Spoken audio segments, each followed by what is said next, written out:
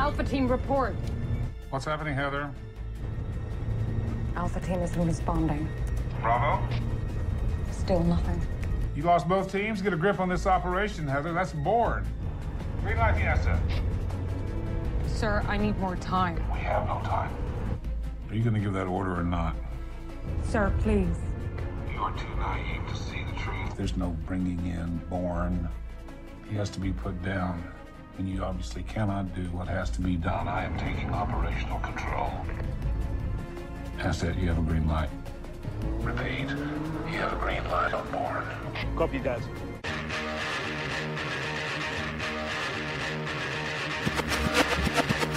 We will defend these police officers. Listen to police officers' commands, listen to what we tell you, and just stop. The nation needs to realize that when we tell you to do something, do it. And if you're wrong, you're wrong. If you're right, then the courts will figure it out. We don't get to pick the laws. We enforce them. But at the end of the day, each and every member should go home safe. Sometimes the use of force is necessary. You need to comply with the police officer the way the system was meant to be. Comply with the orders of police officers. Resisting arrest is a real and dangerous crime. Nonpartisan Liberty for All. I'm your host, Dave Bourne, and it is August 3rd, 2016, and I'm coming to you live from Las Vegas. I apologize for the uh, technical issues and starting late. I guess there was an update to Spreaker, and Spreaker has been pretty good compared to Blog Talk Radio. Uh, I've mentioned Blog Talk Radio before, and the amount of issues I have with that fucking thing uh, was crazy, uh, literally. So, it wasn't really an issue per se. It was I didn't see in the corner they had a update that I needed to uh, click on to update the application, and I didn't see it until after I st- started the show, and then I finally saw it, did that, and here we are. So Thank you for tuning in to Nonpartisan Liberty for All. We're on weeknights, Tuesday through Thursday at 7 o'clock Pacific, 10 o'clock Eastern, and you can listen live on Spreaker.com and nonpartisanlibertyforall.com. And to the archives immediately following the show on Spreaker, YouTube, Twitter, Tumblr, and SoundCloud, and the next day on Stitcher and iTunes.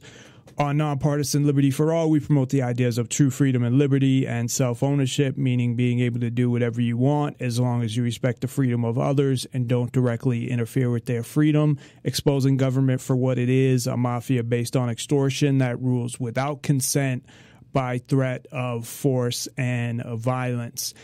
And we are, of course, happy to hear from you. You can reach us via phone at 702 470 7664.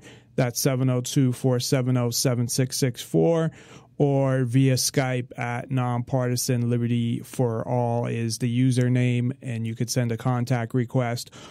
All that information is also at nonpartisanlibertyforall.com, along with links to all of our social media, original articles. I just wrote two in the past week, so you could check those out. One is on the series I'm continuing to write on the legalization of drugs, going back to how they were before 1920. And one was on why I believe all police are criminals. So you can check those out as well as other stuff. So, being that today is, I always forget, not forget, but I haven't come up with a way to say it where it sounds cool. Where Ken comes on every other Wednesday, so I'll just say it's it's the Wednesday that Ken comes on. Ken Schortgen of the DailyEconomist.com. So he is here today. Um, so as always, Ken, thank you for joining us. Who's been joining us? I don't even know how long now. It's got to be, geez, over a year at least. A couple days. An evening to you, Dave. And the best thing to say is twice a month. Well, yeah, but I twice mean, a month on Wednesdays. No, I know that's what I'm talking about. Like, well, Ken joins us twice a month, but when I'm saying that you're here, um, I don't know. Uh, Don't in- far as- it. right. Well, I, you know, I love to overcomplicate things, of course, but that helps me with uh, filling up time on the air. So, No um, Ken, uh, it wasn't last. It was the time before that you had your pool tournament. So you were with us a couple weeks ago. So it's only been a couple weeks since you've been with us. So uh, one of the things I noticed, and I know you're a well, I don't know that you consider yourself a fan. How how would you describe yourself on Donald Trump? I, I know that you're going to vote for him, right? But how would you would you say that you're you're a supporter or you're just like, well, you know, compared to what's out there, which is really just Hillary. And I saw that the and this was a CNN poll, so who knows how accurate it is. And CNN is also while they were showing the poll trying to promote the libertarian uh, town hall they were having in about you know an hour before that so um they they gave 12% to the libertarian party which is pretty high for for the libertarian party and they had it at like 44 uh Hillary 35 Donald Trump and 12 uh, the Libertarian Party, and they were even going into, well, what if Trump drops out? And and I know they're they're trying to create a fucking story because he's not going to drop out of shit. Um, but it, you want to know? You want to know the truth behind all that? yeah, go ahead. Three days before that CNN poll, um, they had a poll out that Donald Trump was up by three, by five points, and then all of a sudden, CNN decided that they were going to change their polling criteria. Instead of putting neither, they removed that and put in something else, so that people didn't have a choice of neither. You know, of neither. When that happened, when they changed the criteria, all of a sudden Hillary is up by by three points. The reason that they're Well, now they have her up by like eleven on the the most uh, recent one. Yeah, yeah, but polling is polling is crap. no, I know, but I'm just saying though that that But that's here- what they here's have. the reason behind the the libertarian. If the libertarian um, candidate or a, or a third party candidate, let's just say that, can get 15 percent in the polls, then they get a place up on the stage at the debate. right. And so they're desperate to do that because they believe that a libertarian candidate's going to steal from Trump, But based steal from a progressive. based on I think they'd steal from from both of them because Gary Johnson is very on certain issues is very progressive actually. I, they're not He's real libertarians, He's but for TPP, and he's never even read it. well, that right there, th- to he- me, throws him completely out. Yeah, well, personally, I think he. I don't support Gary Johnson neither, but I, I would. I, I think it's all it's all rigged anyway. The powers that really the the powers that be that run everything determine who's going to be president in anyway. In answer, But- in answer to, to your original question, the only reason I vote for Donald Trump is not because I like him, but because the establishment hates him with a passion, and he's the anti, he's the true anti-establishment candidate. And if uh, if we can get somebody in there, even if he screws up, because really, what president have we had in the last eight elections? You know that has really done anything of of tangible, you know, good for the country. So get somebody in there. I don't care if he if he's good or not, but if the establishment hates him, then maybe he's going to shake things up and at least bring about some change. I honestly can't think of the last good thing done for the country. Period. Um, Well, we've been we've been co-opted. Let me just tell you, the the, country was co-opted after JFK was killed. well, I think before that, but okay. JF, JFK was was he he was the last president to try to rock the boat. He was going to break up the CIA. Uh, he was going to bring us back to a uh, silver standard. And the, I mean, the, he was wasn't he going to get rid of the Joint Chiefs and all of that shit? He was going to rearrange the whole setup of the military and um, the military industrial complex and all of that as well. Uh, well, that yeah. I mean, up to a point, you can only do so much. The problem is, is that the uh, individuals who were in his cabinet um, were the two men who started the OSS and and uh, funded Hitler. They the, the, they the Dulleses, is that what you're talking about? Yeah, they, they were actually went in at the end of World War II. They went in there and got most of the Nazis out through Operation Paperclip. Yeah, and one of brought them- in and created the CIA with them. One of them was on the Warren Commission, right? Well, that see that's the that's the kicker, and that's why you know the whole thing was rigged. yeah, because they because yeah, there's two. There's John Foster Right, right. Dulles and Al- Allen Dulles. Yeah, Allen Dulles was fired right. because what ended up happening at the Bay of Pigs, uh, the invasion of Cuba, JFK um, said it's a go, and he ordered the Pentagon to have air support for the Cubans who were going to try to retake the, the island. But Allen Dulles went to the Pentagon and told him, "You're not going to do air support." So the Bay of Pigs failed, and JFK was left with a conundrum. He could either say that somebody in his cabinet usurped his order, which would then make him look like he wasn't in control, or he could take responsibility for it, which he did in a speech. He then fired Allen Dulles, right, I know. uh, and that was some of the things that led to the um, the uh, uh, the assassination. Right. Now here's something else. Here's somebody who's been involved in two two assassination attempts. Jack Ruby.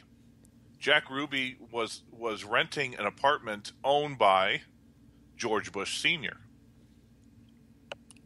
And guess which family is very good friends with the Bushes?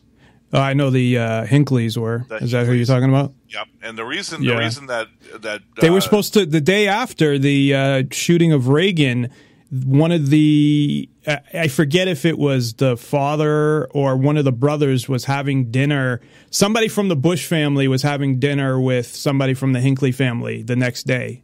They were no doubt. they were supposed to because I've I've read about all this too, and they were supposed to, but it probably didn't happen um, because of the shooting. But yeah, they were uh, they they were oil. They were both oil families in Texas.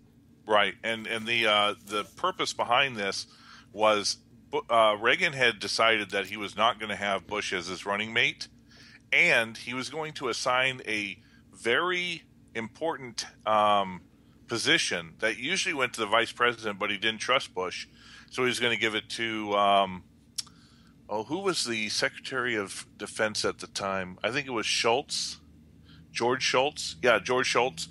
Anyway, it was it was to be in regards over uh, emergency management, and Bush wanted that desperately, and so uh, Bush was given it after the uh, after the assassination attempt.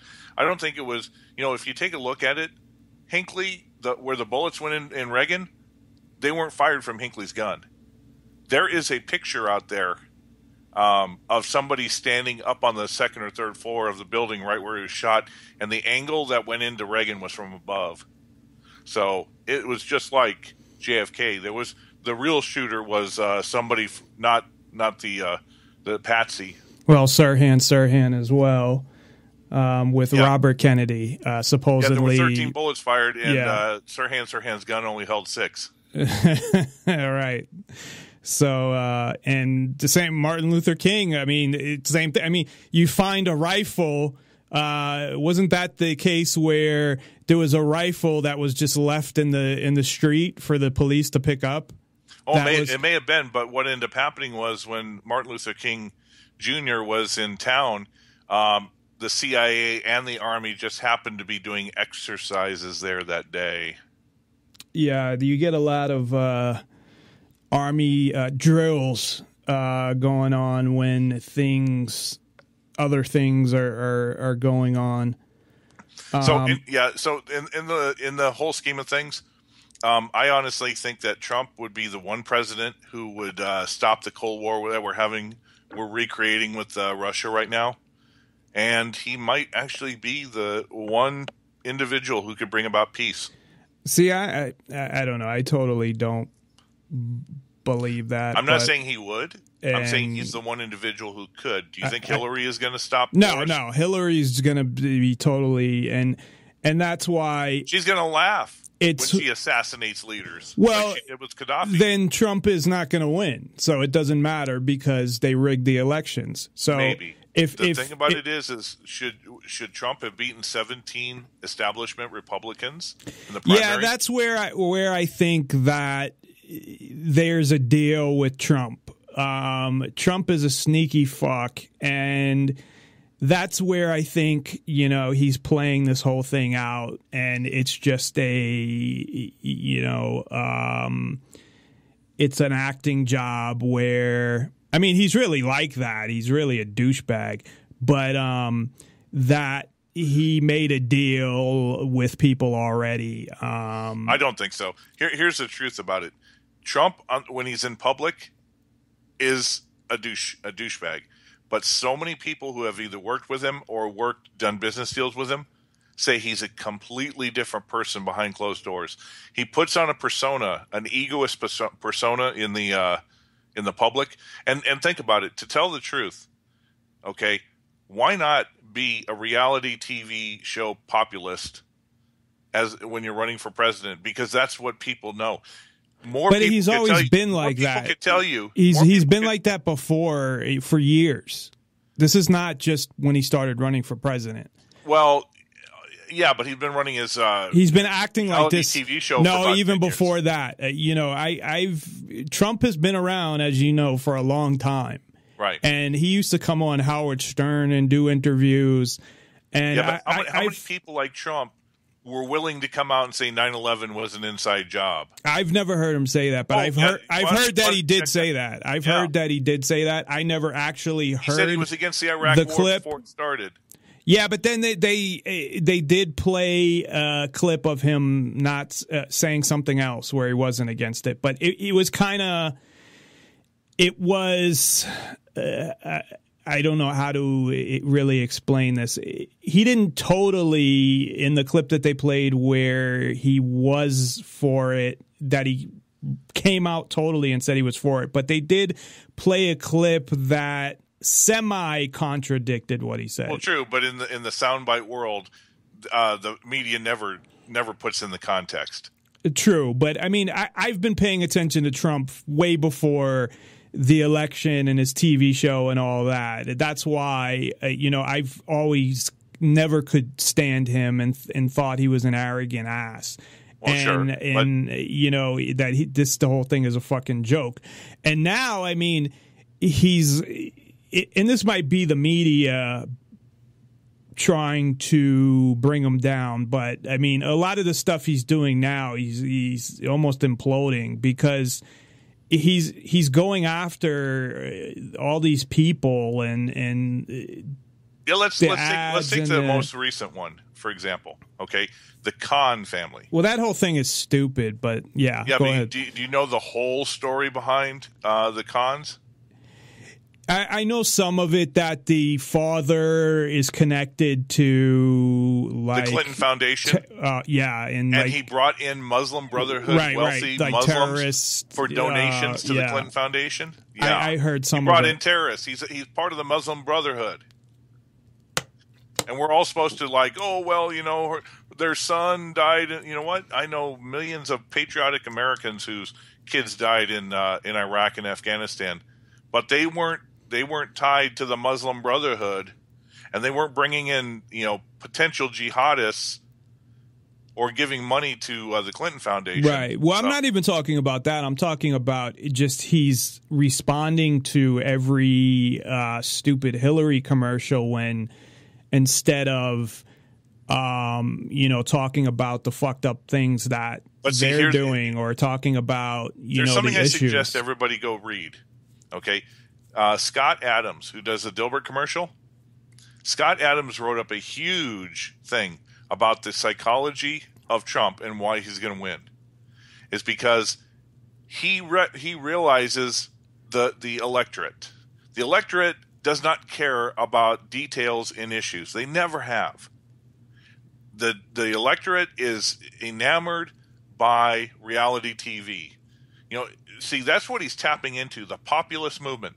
If you were to ask most of the people who were part of Occupy Wall Street, all they could tell you is we hate the rich, down with the tra- tax the rich, but they couldn't tell you what Wall Street really was about.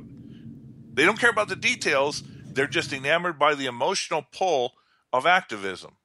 Okay, most of them have never investigated.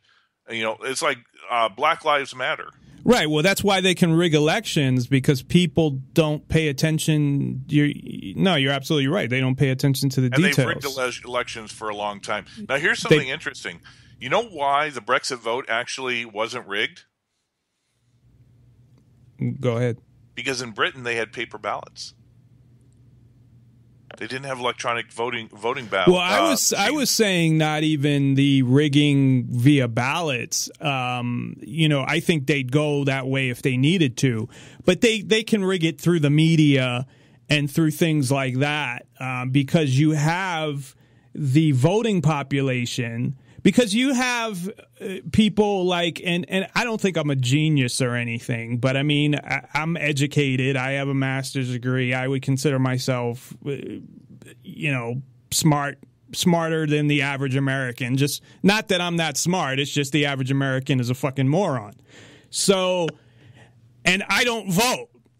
So the people that vote, the majority of them um, not all of them, because you have smart people that go and vote, but but they they know that most of this shit is fucking rigged anyway, and they know that really out of 150 million, um, you know, I don't know what the total count is of people that end up voting. You know, you got 300 and something million 40 percent of three hundred of uh, all eligible of the total. voters. Uh, yeah, and I don't know what that is, but it, it, it's like a, uh, say 100 million at least, uh, 150 million, something like that. I don't know. Um, you know that in that huge amount of people, you know what does what does the one one vote mean? And I know Kennedy won by like less than 100,000 votes, but it, in general, it doesn't mean shit. And, and plus, the electoral college makes it mean even less or more. I mean, it can mean something in that state, but for the most part, it doesn't really mean much. Yeah, the electoral college, its original intention was great. Just like we were a republic in the way it was until civil war and federalism took over.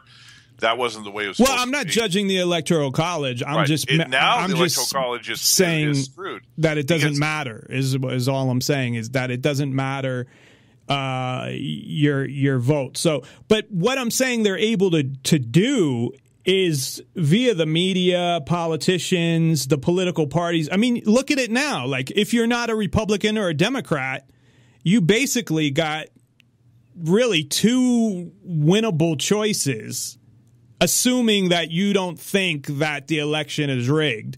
You have two choices that they put in front of you, you know, and and that's it. So True, but you forget you forget the most important axiom of politics. All politics is local. You're not going to change things by worrying about the the the federal elections. You will change things by changing your local Right. legislature, like True, in New Hampshire, but- the Free State Movement. Okay, they went and changed their legislature. well, they're not doing as as good as they they claim to be, but No, but they did for a while. they've changed some, they've changed some things but in the big scheme of things i mean marijuana is still illegal in new hampshire. So that that kind of tells you they, they're not as powerful as they like to think they are. And, and i'm not trying to put but them down Um, need enough people to want to do it. The reason why it passed in Colorado is is because you got a critical mass of people who wanted it wanted it to pass. well they put it at, didn't they put it on the uh, as a ballot question yeah, it was a referendum. Yeah, they did it here in Nevada as a referendum in like 2005, and it it barely got beat. It was like 49 to 51. Now, I I believe that was for uh, just personal use, but I could be wrong. That could have been for medical way back then, um, because that was you know a significant uh, time but ago. it's, but it should be by the people. Look, if um, the demo- the democracy. But it, this- it shouldn't. It should be. no, no, no, no, no. When you're a representative be going to legal. Congress, you represent the people of your district. I don't care if you're Democrat or Republican. You are supposed to represent the views of Right. your people. But that is something that, again, government has no business being involved in. well, yeah, but you know, we're not in utopia land. We're not. well, we're not, it's not utopia land. It's just it's something that the government has taken over all of these things. And see, this is the problem where you just said about local government is that the federal government is getting more and more involved in local governments and state governments. And You know that's why? the problem. So And they you know can why? fucking take over. That's You know that's their whole goal because, because the local and state governments take federal money.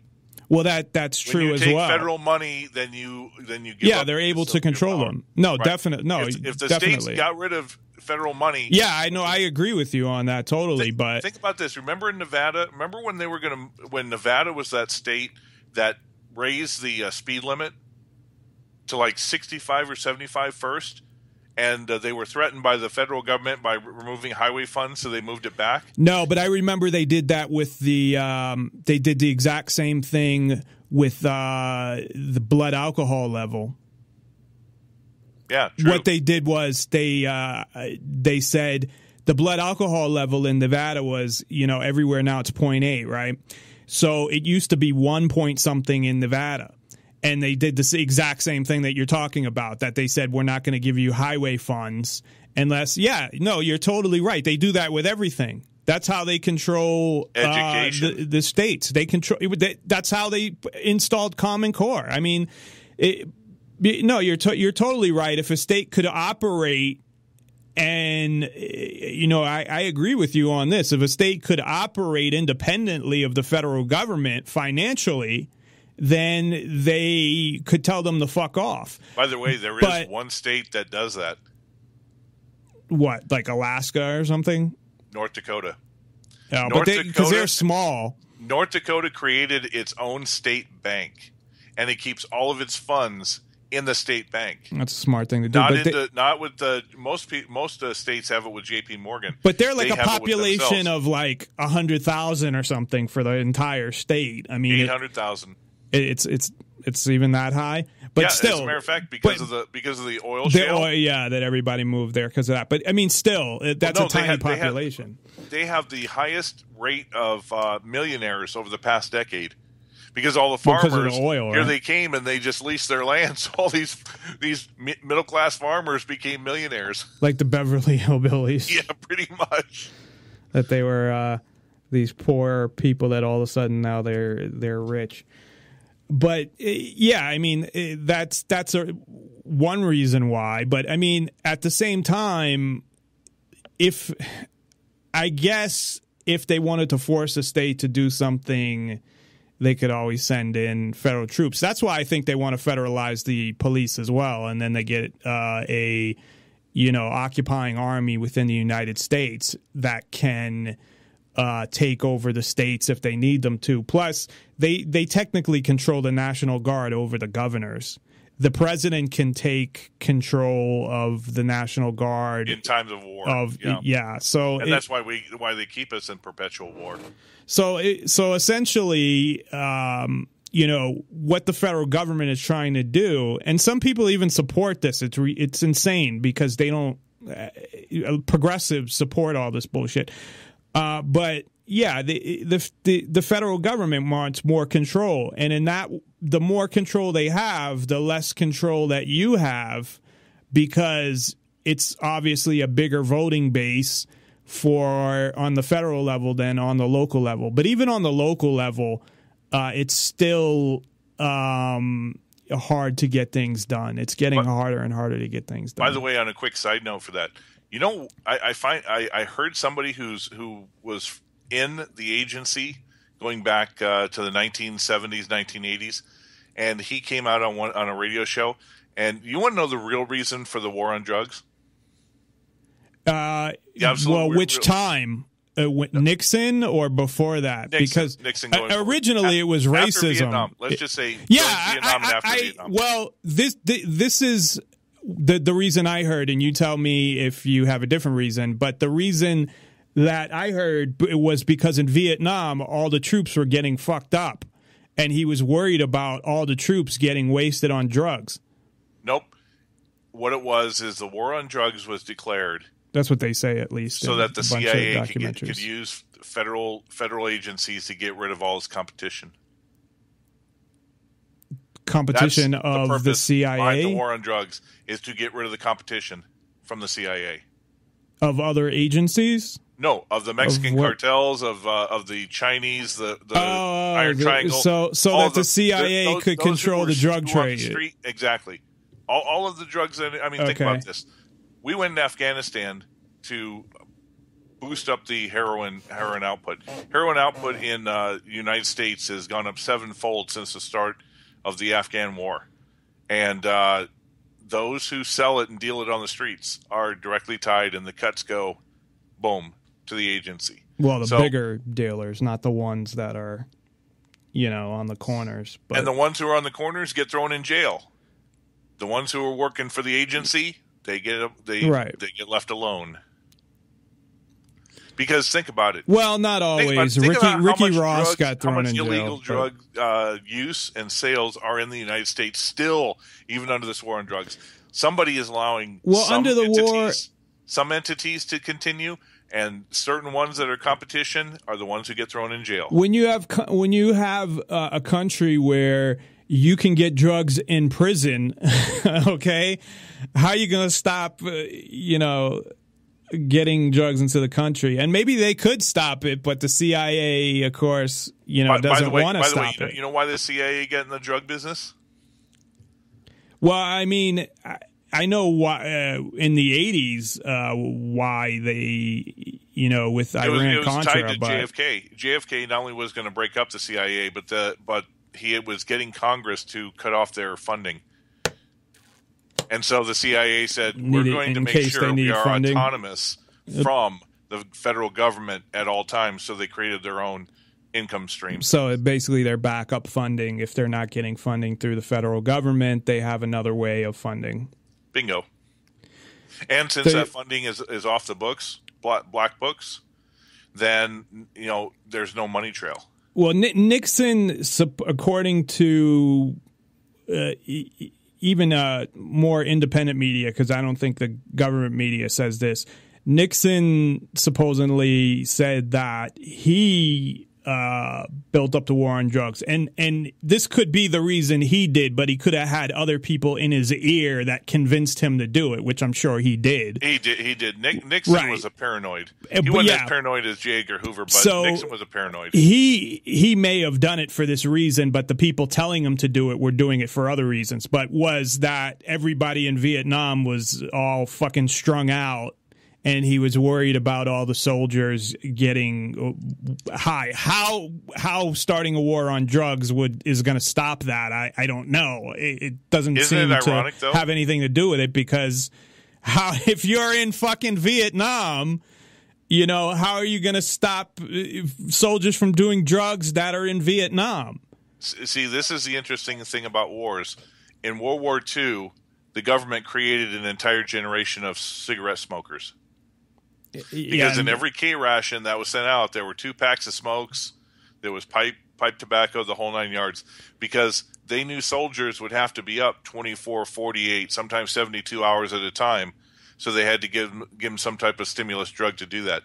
In Vietnam, with all the all the horror that was going on, they they sort of didn't really care if they uh, they took drugs. As a matter of fact, it helped them to get through it. Now Yeah. today in Well, they- Afghanistan, Afghanistan, Iraq, it's pharmaceuticals. If- you if would you not go- believe the psychotropic drugs that are given to soldiers. Oh well, they, That's part they're of the experimenting PTSD. too. Yeah, but they they also um, there's if you go through history, uh, even uh, who was it? Alexander the Great, I believe, or you know back before uh, you know um, BC, going back to eight. Uh, going back to BC times, you had uh, opium and uh, used to give to soldiers, so like their feet wouldn't get all fucking tired and hurt and shit. Oh yeah, and and you know the Um, uh, the Islam when uh, when the sect of the Mohammedans what they created who would become known as the assassins. What they did was before they sent them out on their missions, they uh, all smoked uh, hash, so that they you know would be controlled and driven to just be assassins. Yeah, I don't know a lot about. That's one drug that I don't know a lot about, and I've never. I've talked about this on the show. I've never done anything besides marijuana, and I last time I did it was 20 years ago, and uh, and then um, you know, prescription. Uh, I've had prescription controlled substances, whatever, but besides that, I've never done anything. But I've done a lot of research, especially recently, about all of these drugs. But hash is one of the ones that I don't know anything uh, about. I, I know, isn't it related to marijuana from the same plant or something? Uh, could be. I believe it, it, it it's related to marijuana in some uh, somehow. But yeah, hash is something I don't know a lot Oh, about. By the but- way, as a matter of fact, the term assassins comes from the Arab, Arabic word hashashin, how did they refer how- to the medieval Ismailis, and uh, they and the reason hashashin, the, the term hash, came from the drug that they took when they went about their missions to be assassins. Ah, well, that's pretty cool. So yeah, I mean, the drugs, giving soldiers drugs was nothing new. I mean, goes back thousands of, of years, and and I think with Vietnam, luckily the majority, I think, came back with uh, the not an addiction, but smoking weed. Uh, but a lot came back addicted to heroin, unfortunately. But I think more came back with just, you know, they smoked a lot of weed. And, you know, that's something that, as we know, is not a fucking dangerous drug, is not, uh, I don't consider weed a, I mean, I look at cigarettes as worse than than weed. The only the only thing is that if you depending on I guess your tolerance, I mean you can't really do a lot of stuff when you're By the way, high, hashish but- hashish is derived from the cannabis. yeah, uh, th- okay, that's what yeah, I they thought. originate from the same plant. They just Right, contain, right. contain different things. So there you go. So, um, but luckily, I think more people came back with uh, more of an addiction, if you want to call it that. I don't think you can really get a real addiction to uh, weed. I mean, you can, I guess, because you can get addicted to anything. I mean, you can get addicted to Well, it all fucking depends. Pepsi. you know, but- some people are more prone to addictions than others.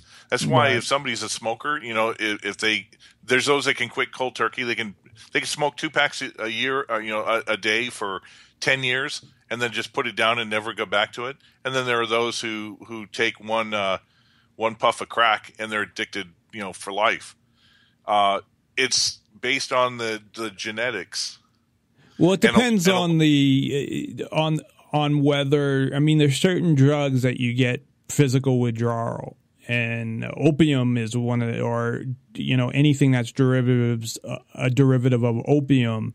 You get physical withdrawal, and those are the ones that hard are the hardest to get off of. True, Marijuana, you don't get you don't get physical withdrawal. You get mental maybe if you're It- used to doing it every day, but not most physical. of the withdrawal is mental because most drugs it takes three days for you to get the real out of your system okay? Three days through the withdrawals. After that for any habit it takes 21 days to get completely off for your mind and your addiction to to leave Well, So heroin's physical. It depending on what your usage is, it's more than a couple days. Heroin, heroin could be a couple weeks to a month of yeah they say they say opiates it's uh it's the the physiology is three days but your nervous system which is tied to your to the mind to the addiction right? will cause the effects beyond the, the time Well, that the drug is actually it- in your body. It depends on uh, how much you're using and how long you've been using it and things like that too. So it, there, there's factors in in that. Um, see, I, see, I, I- have an addictive personality because of uh, the fact that I was one of the original Ritalin kids, oh, jeez. and they did, and they found out after a 20 year study that 95 percent of all the children who were on Ritalin have some sort of chemical dependency, whether they're alcoholic, take drugs, smoking, something. And uh, when I when I got out of high school, um, and I started drinking beer, man, I was it it hit me, and I was I was out drinking six days a week, and then uh, I eventually joined the military.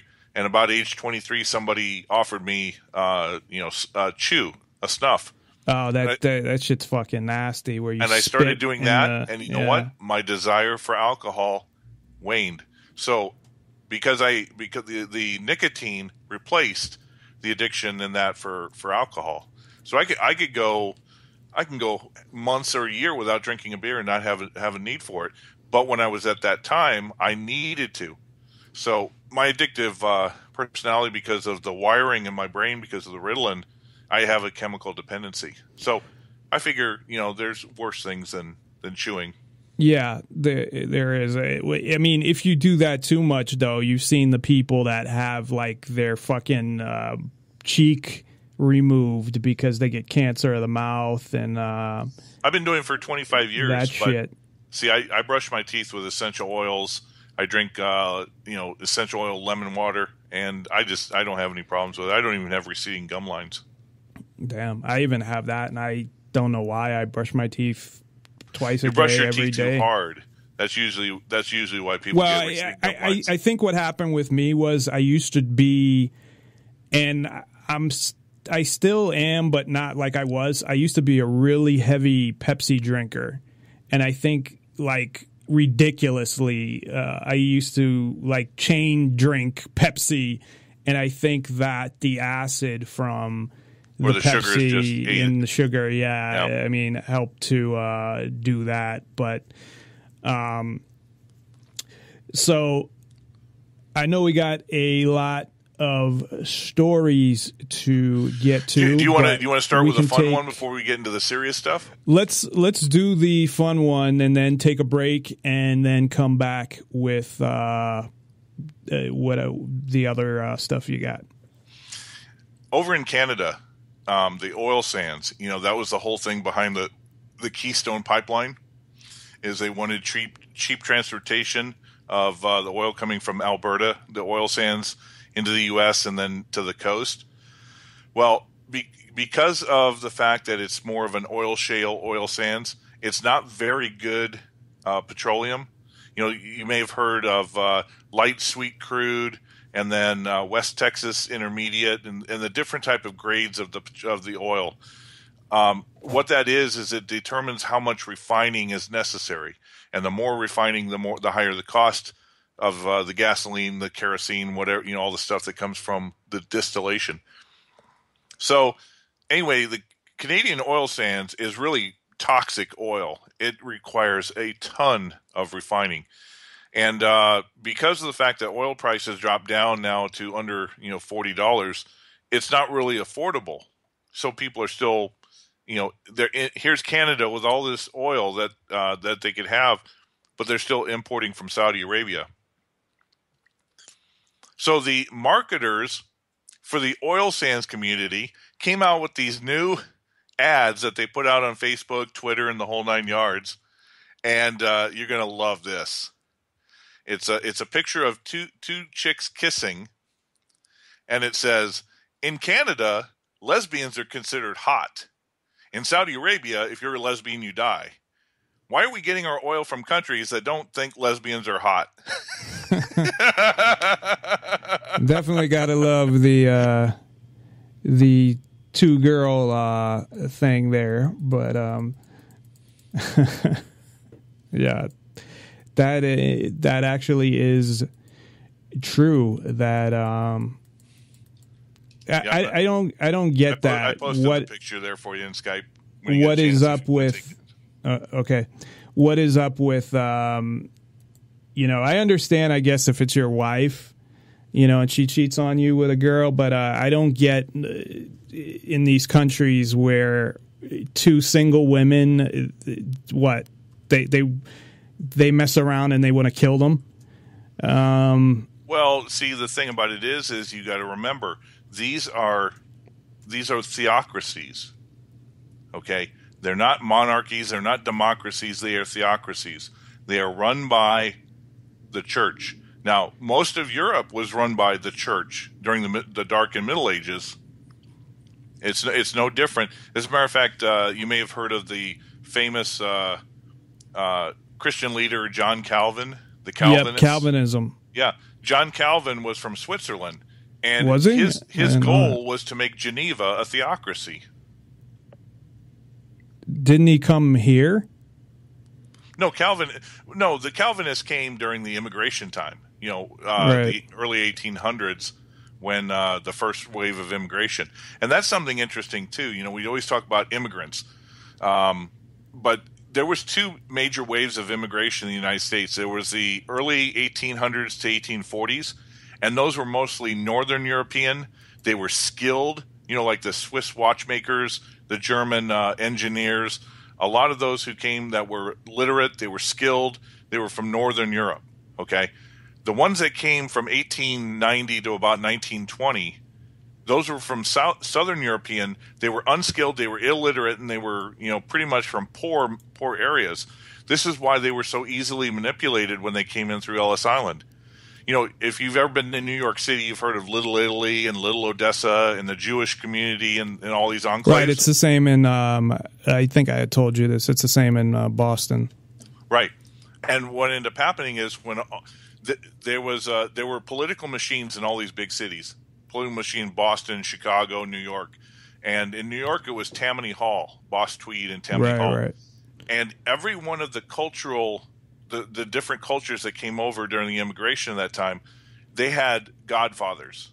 Okay? And the godfathers were They asked you were- for a favor on the yeah, they were controlled by the uh, by Boss Tweed and, and the Tammany Hall machine. That's and right. what would happen is if if say you're an Italian and you came over through Ellis Island, then the Godfather over the Italian community would would meet you off uh, you know off the ship, put his arm around you and say, "Okay, we're going to help you get situated. We'll get you a house to rent. We'll get you a job." and- but then you owe me a favor. Hmm.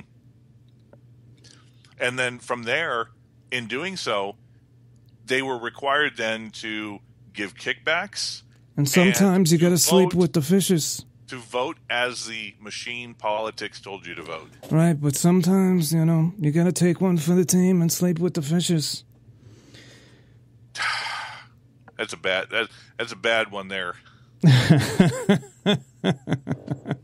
Sleeping with the fishes. No, your uh, your attempted uh, Marlon Brando accent. It's actually good. It's probably the mic because I can actually do a pretty good one. you got to put a couple grapes in your uh, in your No, your ser- in, in all in all honesty, I can do it pretty good. It's just fucking. It's probably the pop filter on the fucking microphone, um, okay, I'll give you that.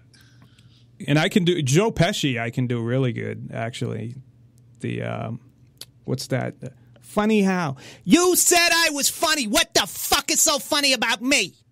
I don't know. It sounds it microphone might You sound more distort like. Joe Piscopo than you do. See, then that then it's the mic because I I I don't know either that or I, I'm nervous while I'm doing it, but um, I can do them pretty good in person. So whatever.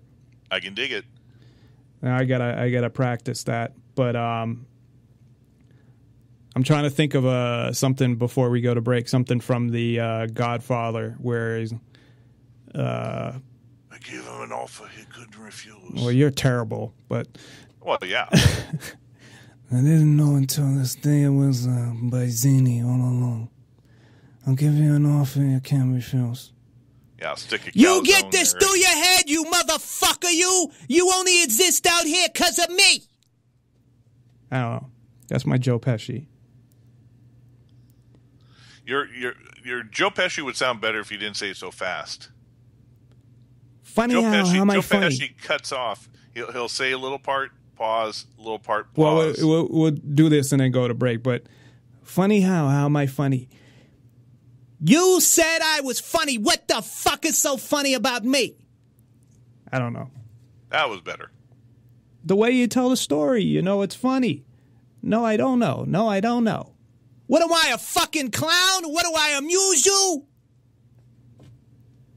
I don't know. It usually sounds good, so whatever. Anyway, Okay, we're, on Vinny. that on that note, my cousin Vinny, the two Utes. All right, the two Utes. We're gonna go get these two Utes. Uh, uh, He's like, what's, a a Ute? Use. oh, I'm sorry, Your Honor. The two youths. All right. Well, on that note, uh, we're going to take a quick break. Um, I know that uh, you have a, uh, before we go to break, you have a new YouTube channel that you're starting. When uh, do you have a date yet when you're uh, officially launching it? Or Well, I've, you already, just, I've already started it. I, I did a recording on uh, Tuesday. is it out there for people to to see already? Or? Yeah, you can you can either go out to YouTube and just uh, do a search of the Daily Economist, or you can go to the dailyeconomist.com, scroll down the right side, and I've got I'm putting up the podcast there. Cool. Make sure you uh, monetize those things because you'll probably get a lot of. I mean, I see these people, and, and you're good as a speaker and, and good on the radio. So I, I don't see why people wouldn't um, listen to your stuff. And and you see these people that are just terrible, but they have like three hundred thousand fucking views.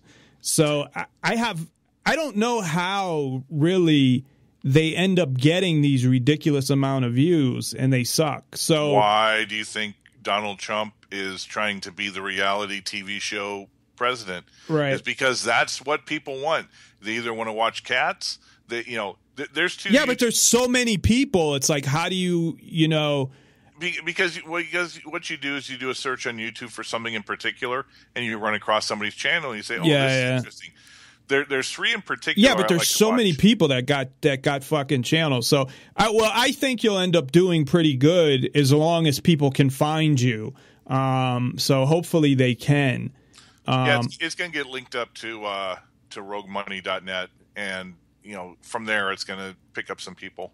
Plus, I you know have my Twitter followers and throw it out on Facebook every. Yeah, but if every you get in, you know, if you get up in the hundred thousands, you'll start getting pretty good checks and stuff like that if you uh, monetize it. So make sure you go in there. but and, uh, you got to go in there though, and um, to each one, and then put in like the fucking commercials and shit like that. So make sure you do that, and and just uh, again, uh, let everybody know what the the channel is. Yeah, you can either search the Daily Economist or you can go to the dailyeconomist.com, my website, and just scroll down on the right side, and it, they're right there. All right. Cool. See, yeah, I've been telling you to do that, man. I, I think uh, that will go pretty well uh, for you. I want to start cutting up parts of the show and kind of doing that because the thing about YouTube and is everybody has those short clips. So people are willing to watch something that's five to 10 minutes as opposed to listen to a fucking radio show that's, That's you know, two to three hours. Yeah, no, no one. It's really sad, you know. Even when I, I write articles, I mean, that's why Twitter is so fucking popular. It it re- it really is one of the reasons why because the, the the attention span is so fucked up now that people can't read more than a couple sentences, and I'm sitting there.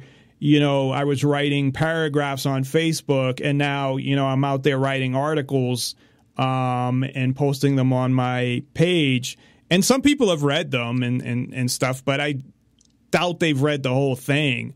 And they just want to see the fucking, you know, the Twitter thing. It's the ADD uh, culture that we live There's, in. see, there's something else I started doing on my on my website besides linking a lot of the uh, you know RSSing in um, the articles I write, which are longer for two different sites, RogueMoney.net and To the Death Media.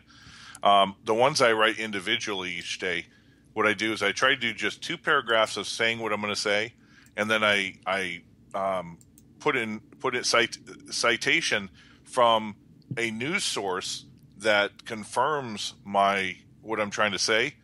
Then I uh, then underneath it, what I'll that do where is you click on more- it? Where, Yeah, they can click and read more on it. yeah, yeah. And then what I try to do also is I try to do a video because people will love to go to a place that's got a cool picture. It's got uh, it doesn't it, it's not too large, you know, too long where they can get the gist of what it is. They've got some some uh, annotation where they can go research more if they want, and then you get a video in there, and they're going to stay and watch the video for you know five ten minutes. Yeah, they'll definitely. I mean, that's that's the whole thing. That's why they're getting um, the ones that are really short. And actually, I'm the opposite because I'm sitting there at work. I want to listen to something while I'm working, so I want to find something that's like two hours long and and and play it while I'm working. And um, you know, I I come across a lot of shit that's like five minutes, ten minutes um, you can find a lot of long stuff too, just as much. Oh, the, but the, you know they they've got the history channels. Um, yeah, yeah, that's what I mean. You can find the, the uh, World War One documentary, all that- ten episodes. that's where I get a lot of my information from for the show because I'll um, listen. You know, I, I can't focus as much as as I'd like to because I'm working, but I'll turn it on and you know catch a lot of it while I'm working.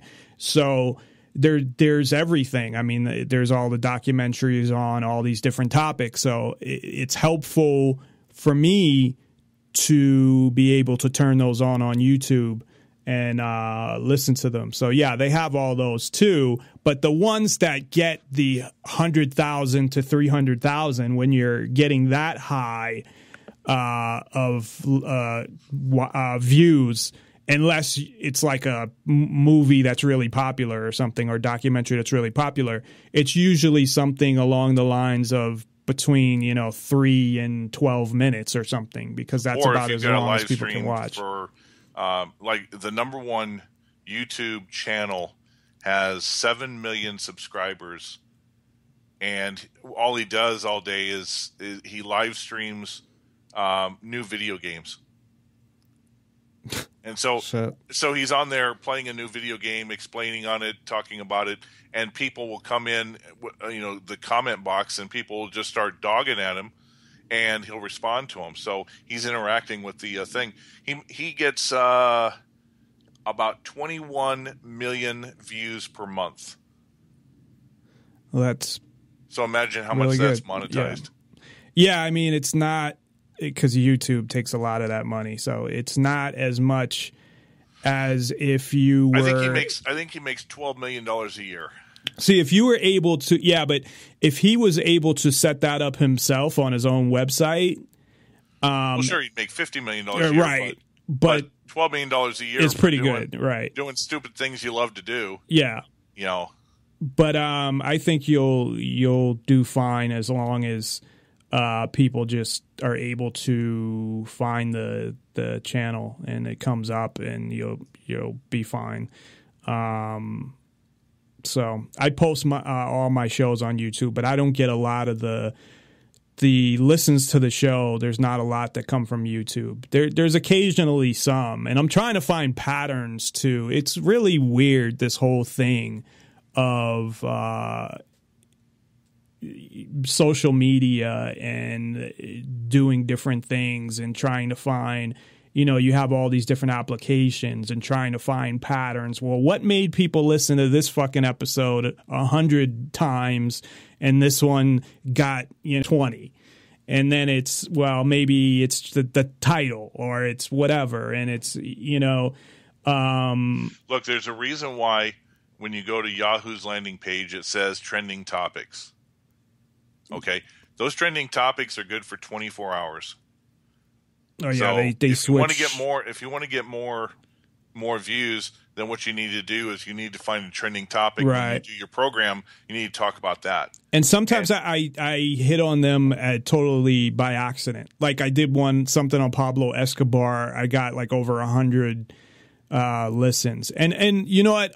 Um, when you're on, and I don't know if it's just because uh, people are it's reoccurring and it's always the same name. You know, geopolitics and the economy with you and um, people are into that and they they tune in or or what, but it, it's pretty steady in the amount of listeners usually. I mean, occasionally it will be off, but it's pretty consistent in in that. Uh, that's one of the ones, you know, but it's always the same description. So um, that might be a reason why as well. Well, so we'll take a break.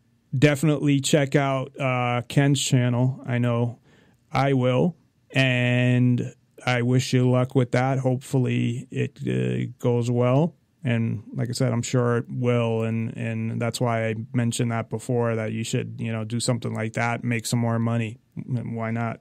yeah. Well, the thing is, is I'm more of a writer than I am a, right, but a speaker in that. So, but you're good, but you're good enough as a speaker to uh, be able to to you know you're better than probably 80% of the people out there doing fucking their own clips you know what i mean i mean it, there's not there's a lot of sucky people plus you're you're good anyway so um that's why I, I I don't get it. I don't know all these people that you're just like they're they're just annoying people that you would meet on the street that have a YouTube channel and they're getting like a hundred thousand fucking views.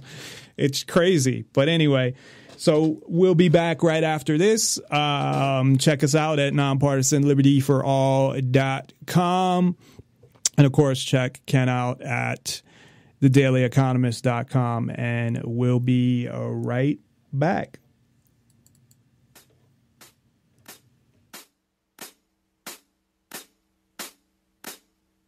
Hi, my name is Brett, and I'm currently recovering from a dangerous and extreme belief system.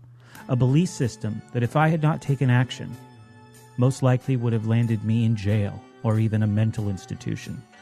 This belief system has many names, but it is most often referred to as libertarianism. For years, I would frighten ordinary people with long rants about the non aggression principle. That's the central ethical stance in libertarianism, which asserts that the initiation of physical force against persons or property, or the threat of such force, is inherently illegitimate, regardless of what kind of excuses somebody makes up to aggress. I know. When I hear myself say it out loud today, I realize how crazy I once was. But I've made a lot of progress. Through my exposure to new points of view and sources of information, I've realized that I was being just too optimistic about the huge group of people who live their lives peacefully and mind their own business, and too cynical about the tiny group of people who disregard these utopian notions of non aggression, property rights, and self ownership in order to keep us safe and maintain stability. Even though a lot of the time it does seem like they have no problem treating our communities and the entire planet like their own personal fing whoa. I'm sorry. Still trying to let go of some of this negative imagery. Like I said, recovery is a process. But it wasn't just the flaws in libertarian thinking, it was also the dangers. This occurred to me one day when somebody who lives in the real world asked me the question what would you do if you woke up tomorrow and government was gone? I had never thought about it before, and at that point, a terrifying worst case, worst case scenario started to play out in my mind. And before I was even halfway through this imaginative what if scenario, things got so dark that I was forced to swear off the philosophy of liberty for good.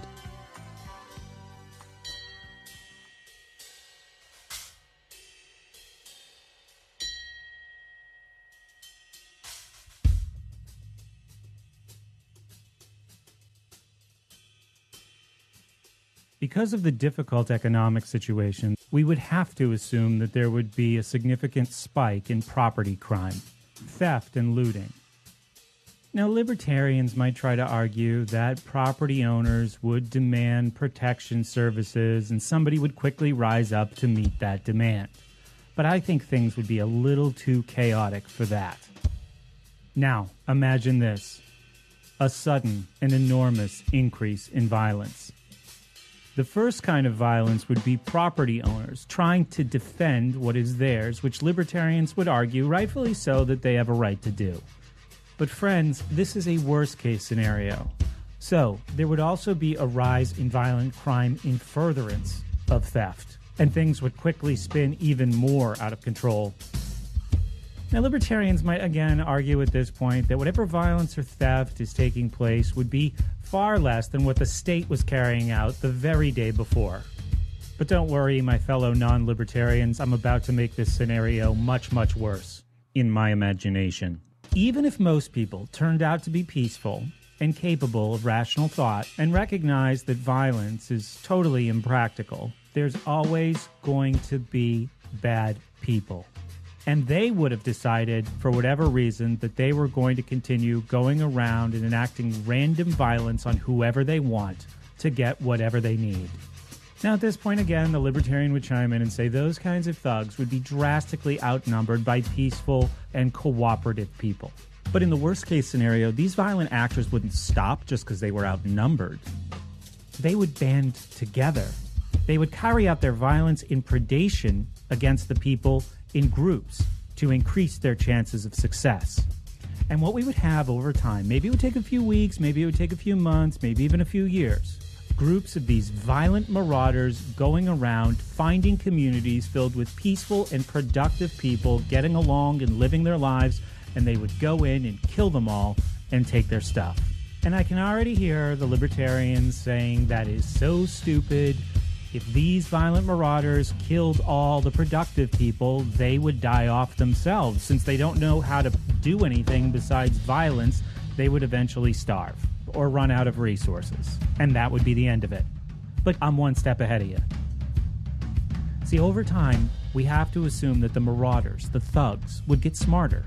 And after several bands of these thugs had died from starvation or lack of resources because they killed all the people who knew how to do and get all the stuff, they would realize that when they raid a village, they have to leave some productive people alive so they can come back later and take the new stuff that they made.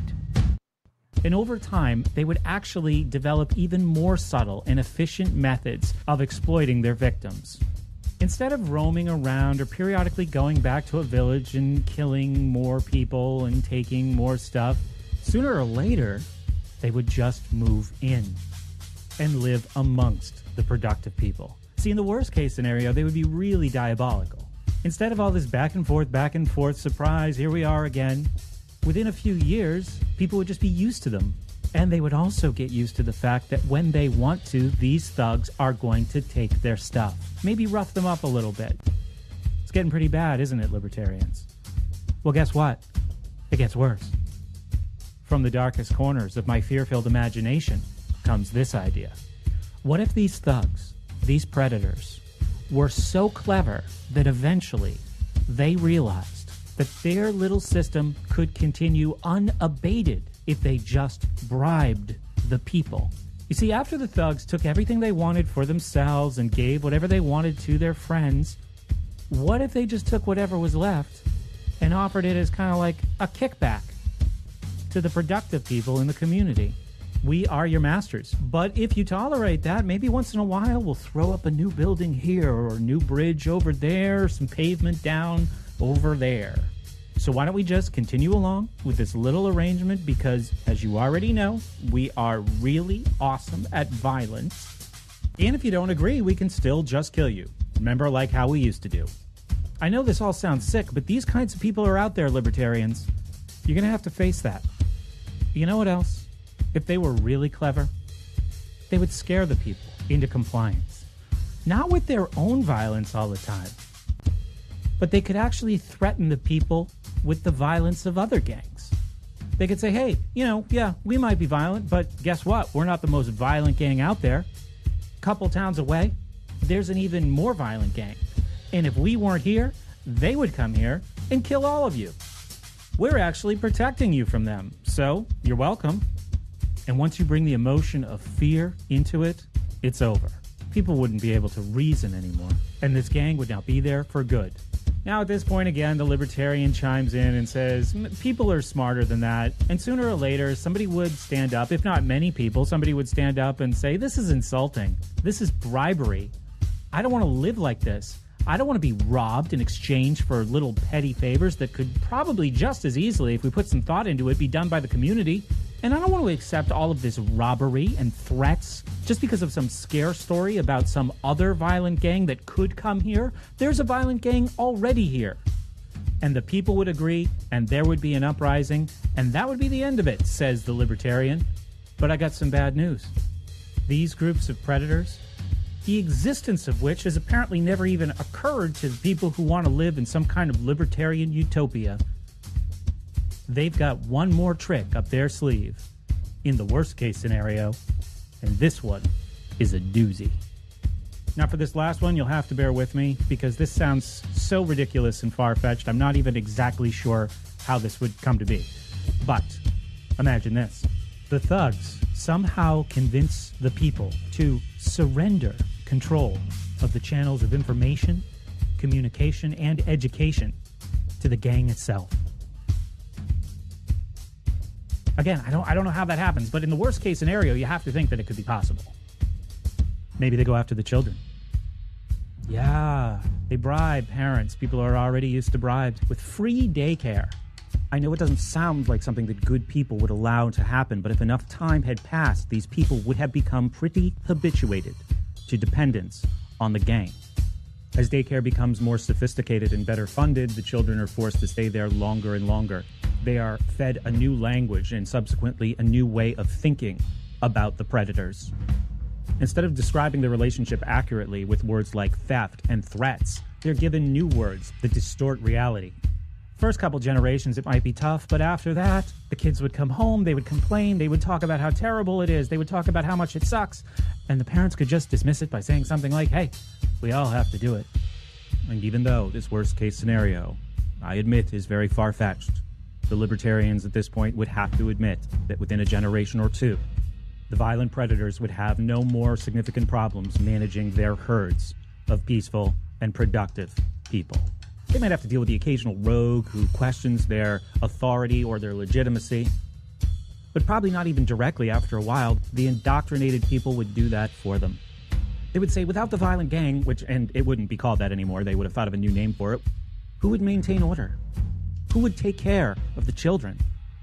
Who would protect us from violent people who want to do us harm? Who would keep our food supply safe? as my worst case scenario vision of this anarchistic world grows even darker, other groups of thugs recognize the success that this gang has had and they copy that model. It is replicated all over the world. Even as their control over the people stabilized, the gangs would still be plenty violent. They would fight with each other. Here's a really sad thing because of the messages that all the people were absorbing in daycare, they would actually cheer when the gang that preys on them slaughters a group of people that another gang preys on. It could get that bad. But if this got bad enough and continued long enough, the entire world would just become divided up into these gang territories. And at this most tragic ending, a good person, a hardworking and peaceful person who just wanted to live his or her life free of coercion, would realize that there is no place on earth that they could go. The end.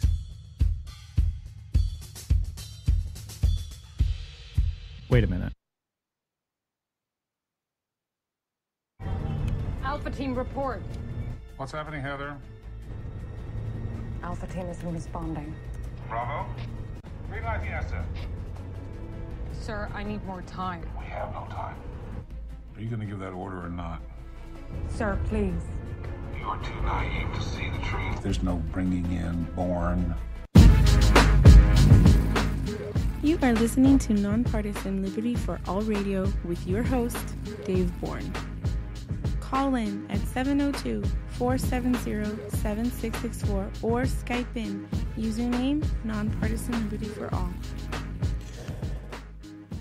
Nonpartisan Liberty for All, and we are back. Uh, that last clip, of course, from the new Jason Bourne movie. And that's right, there is no bringing in Bourne, at least not alive. Um, so uh, we are here today with Ken Schortgen, who has a new YouTube channel. Uh, you can search The Daily Economist, or uh, you could search his name, but it's harder to find it that way because there's all this other stuff. So uh, it's better to search the Daily Economist on YouTube. And I just subscribed to the channel. So, um, I didn't watch the video yet because it's like a half hour, but I will watch it tomorrow. Well, I'll listen to it tomorrow while I'm at work. But um, Yeah, one of the things I'm going to try to do with that is I'm going to try to get important information out. I'm going to have a gold update, maybe a Bitcoin update if there's something going on, and then I love to throw in absurd, absurd stories. You know, something idiotic going about Pokemon Go or the uh, Canadian oil sands lesbian uh, ad. Yeah, see know, that- things like that. that's what's going to get you like all the uh you know the views uh, stories like that and then from that people will hopefully subscribe to your channel and then they'll get and look at all the serious stuff as well um so yeah i mean it it might take a while but uh, it hopefully it will um, build up the one that's up there now i think already has 63 it said views so Yeah, and I recorded that yesterday. So um, you want to you want to so start off with a couple of Bitcoin stories? uh sure Interesting thing down in Miami. Um, you know, it's besides uh the mosquito disease Zika. Yeah, you know, probably probably the uh, GMO Bill Gates created mosquitoes. You know, started this whole thing. You know, on the side note, did you know that Bill Gates is not allowed in India, and if they actually, if he sets foot on the soil, they're arresting him for human rights violations. One of his That's vaccines um, di- uh, handicapped hundred thousand women, yeah and, so he's he's but, uh, but there's yeah. nothing wrong with vaccines they're safe yeah. So India has an arrest warrant out for him. but vaccines are totally safe there's no uh yeah, exactly. anyway, a Miami court ruled in favor of a Bitcoin seller in a criminal case. Now, a guy named Mitchell Espinoza down in Miami Beach, he was charged with illegally selling and laundering Bitcoin. Now, you know, this is one of those things that the uh, the feds really want to try to dissuade and vilify Bitcoin because they're afraid, especially as the dollar keeps going down the pot, that people are going to look for alternative means of uh, of being outside the system. So they love to use the you know oh it's only used by criminals and drug lords and this and that and um, but the uh, the circuit court judge Teresa Pooler she threw away all the criminal charges against Espinoza because in her great wisdom she said that Bitcoin is not money. oh and the that's what the uh, upper courts had ruled Well, no, the, I'll tell you what the upper courts ruled here in They a moment. ruled- But one of her caveats, she said that Bitcoin is not money. Here's here's her here's her justification. well what did She he said- do in the first place that the case was even in court Nothing. He was uh, transacting Bitcoin in a in a in a transaction so he got charged with a crime for that for illegally selling and laundering Bitcoin. Okay. Yeah, yeah, exactly. It, it, it's a spurious charge by the feds to try to you know get something Yeah, on yeah, the yeah. books that Bitcoin is uh, illegal and this. No, that. I know they do it all the time. I just I Right. I didn't hear the exactly what he was uh, charged with. Yeah, illegally selling and laundering Bitcoin. Anyway, she threw it out, and she because she said Bitcoin is not money, and that um, you cannot be punished for selling your own property or using it in a barter transaction. That's what she said. But her justification for saying that Bitcoin was not money was this: you can't stuff it under a mattress. Judges are so fucking retarded. Well, this is the saddest point. This is this is why our financial system they've gotten away with so much criminal activity. This it, this judge, this highly educated quote unquote judge, Well, you could put your Bitcoin wallet that's on your phone or something under a mattress. well, I she doesn't even story, uh, understand money. Okay, but the but the Well, they, is they're they're just idiots that get elected that fail as lawyers. That's what Well, judges are. The But- problem is, but is sorry, that go ahead. Finance, finance, legal finance is so complex that most of the DAs, especially at the the um, U.S. District Attorney level, they don't understand what's going on, so they have an impossible time to prosecute it. This is why the well, they need like signing- forensic accountants.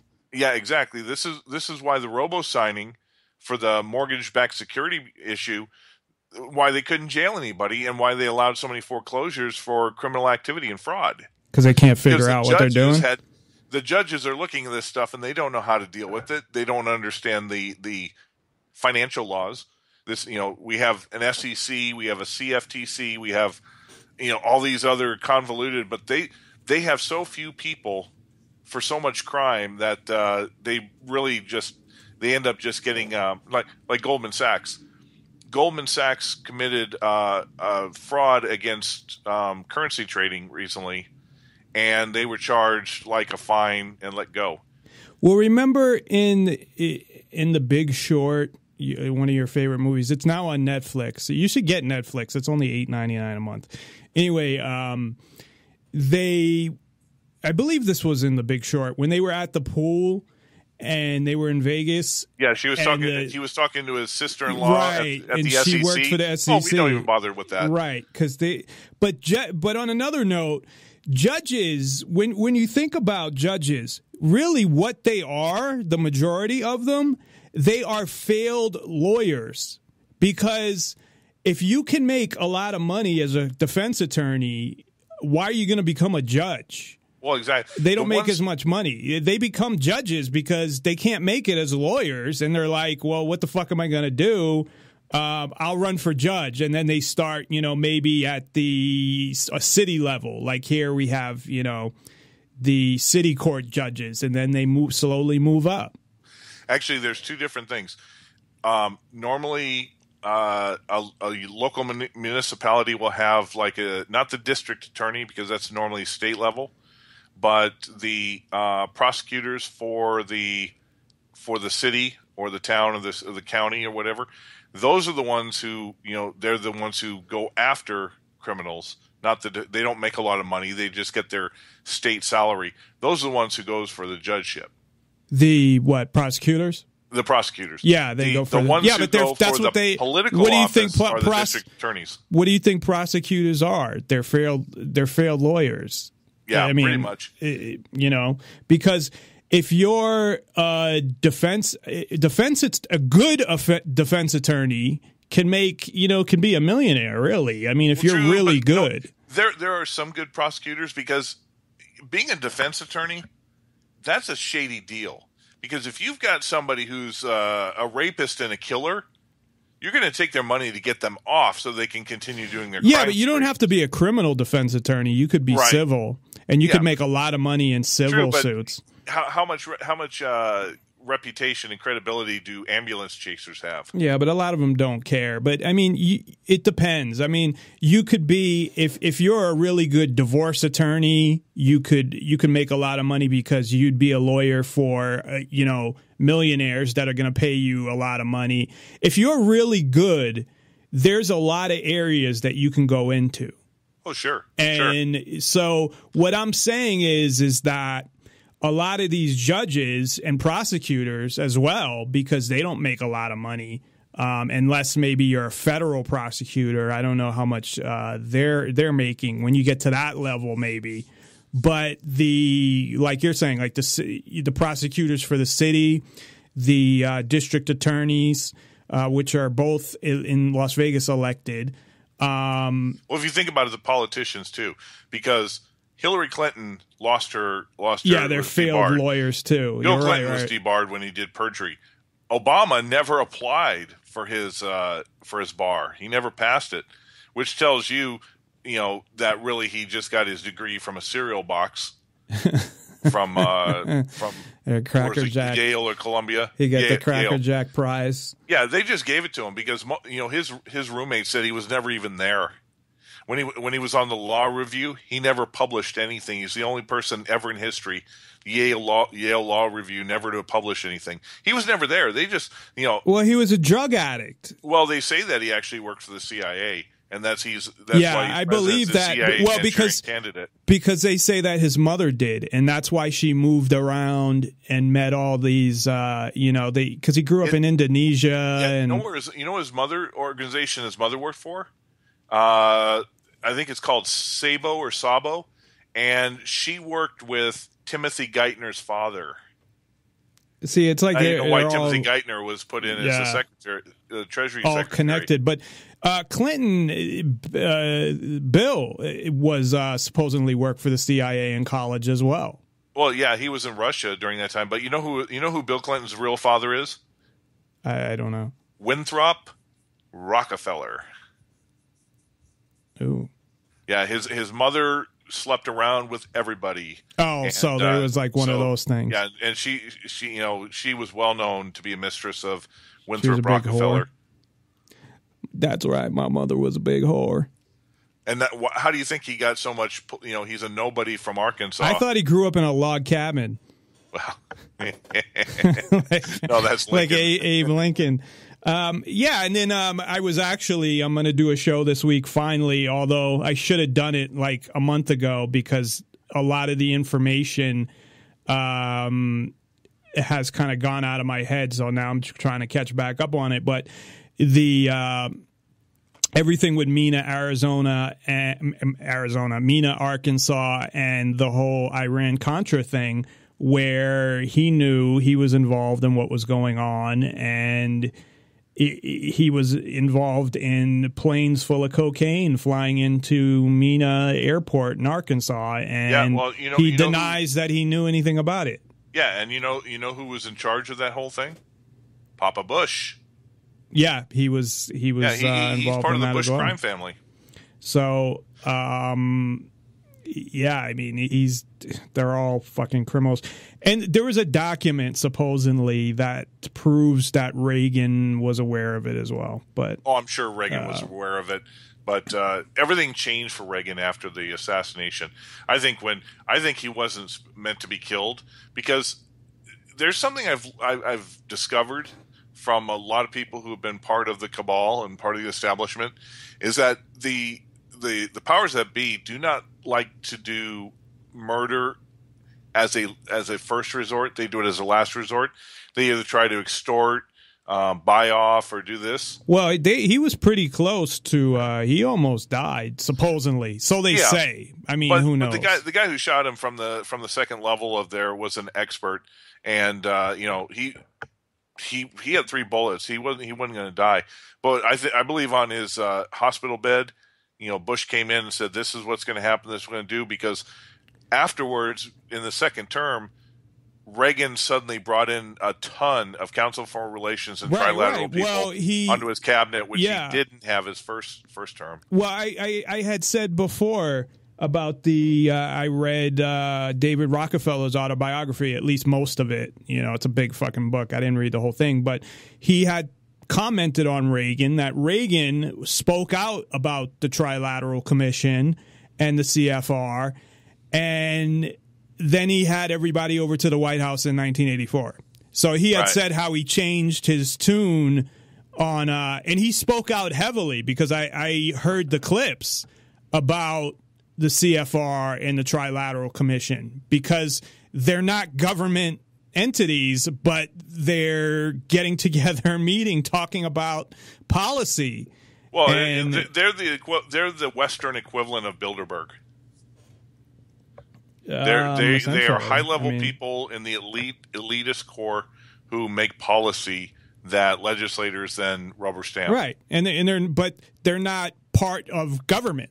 They're No, just they're people that got it's it's like if I got in uh we got together and created our own fucking thing and then got a bunch of p- other people and said, "Okay, we're going to make policy."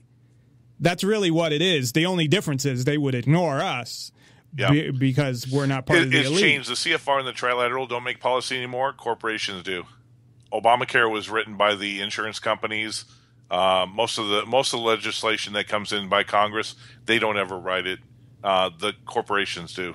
Well, They just- they rubber supposedly, it. I, I I don't know how true this is because again, uh, what I hear in the media is whatever, but that uh, a lot of these insurance companies are claiming they're losing money like Aetna, I guess, is saying that they had lost money and they're going to pull out of, they're threatening to pull out of Obamacare.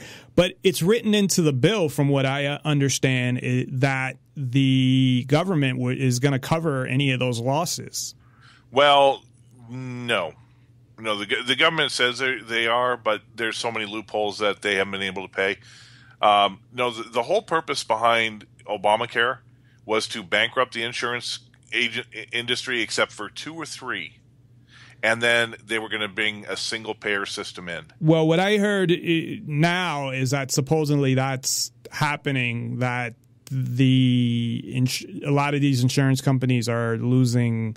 Uh, Well, true, but like I said, billions it was of to dollars. destroy the insurance industry, except for two or three. Well, then, if, if that's the goal, then right now it's working. exactly. At least that's what they're saying. So Exactly, and, and that was the whole purpose behind it.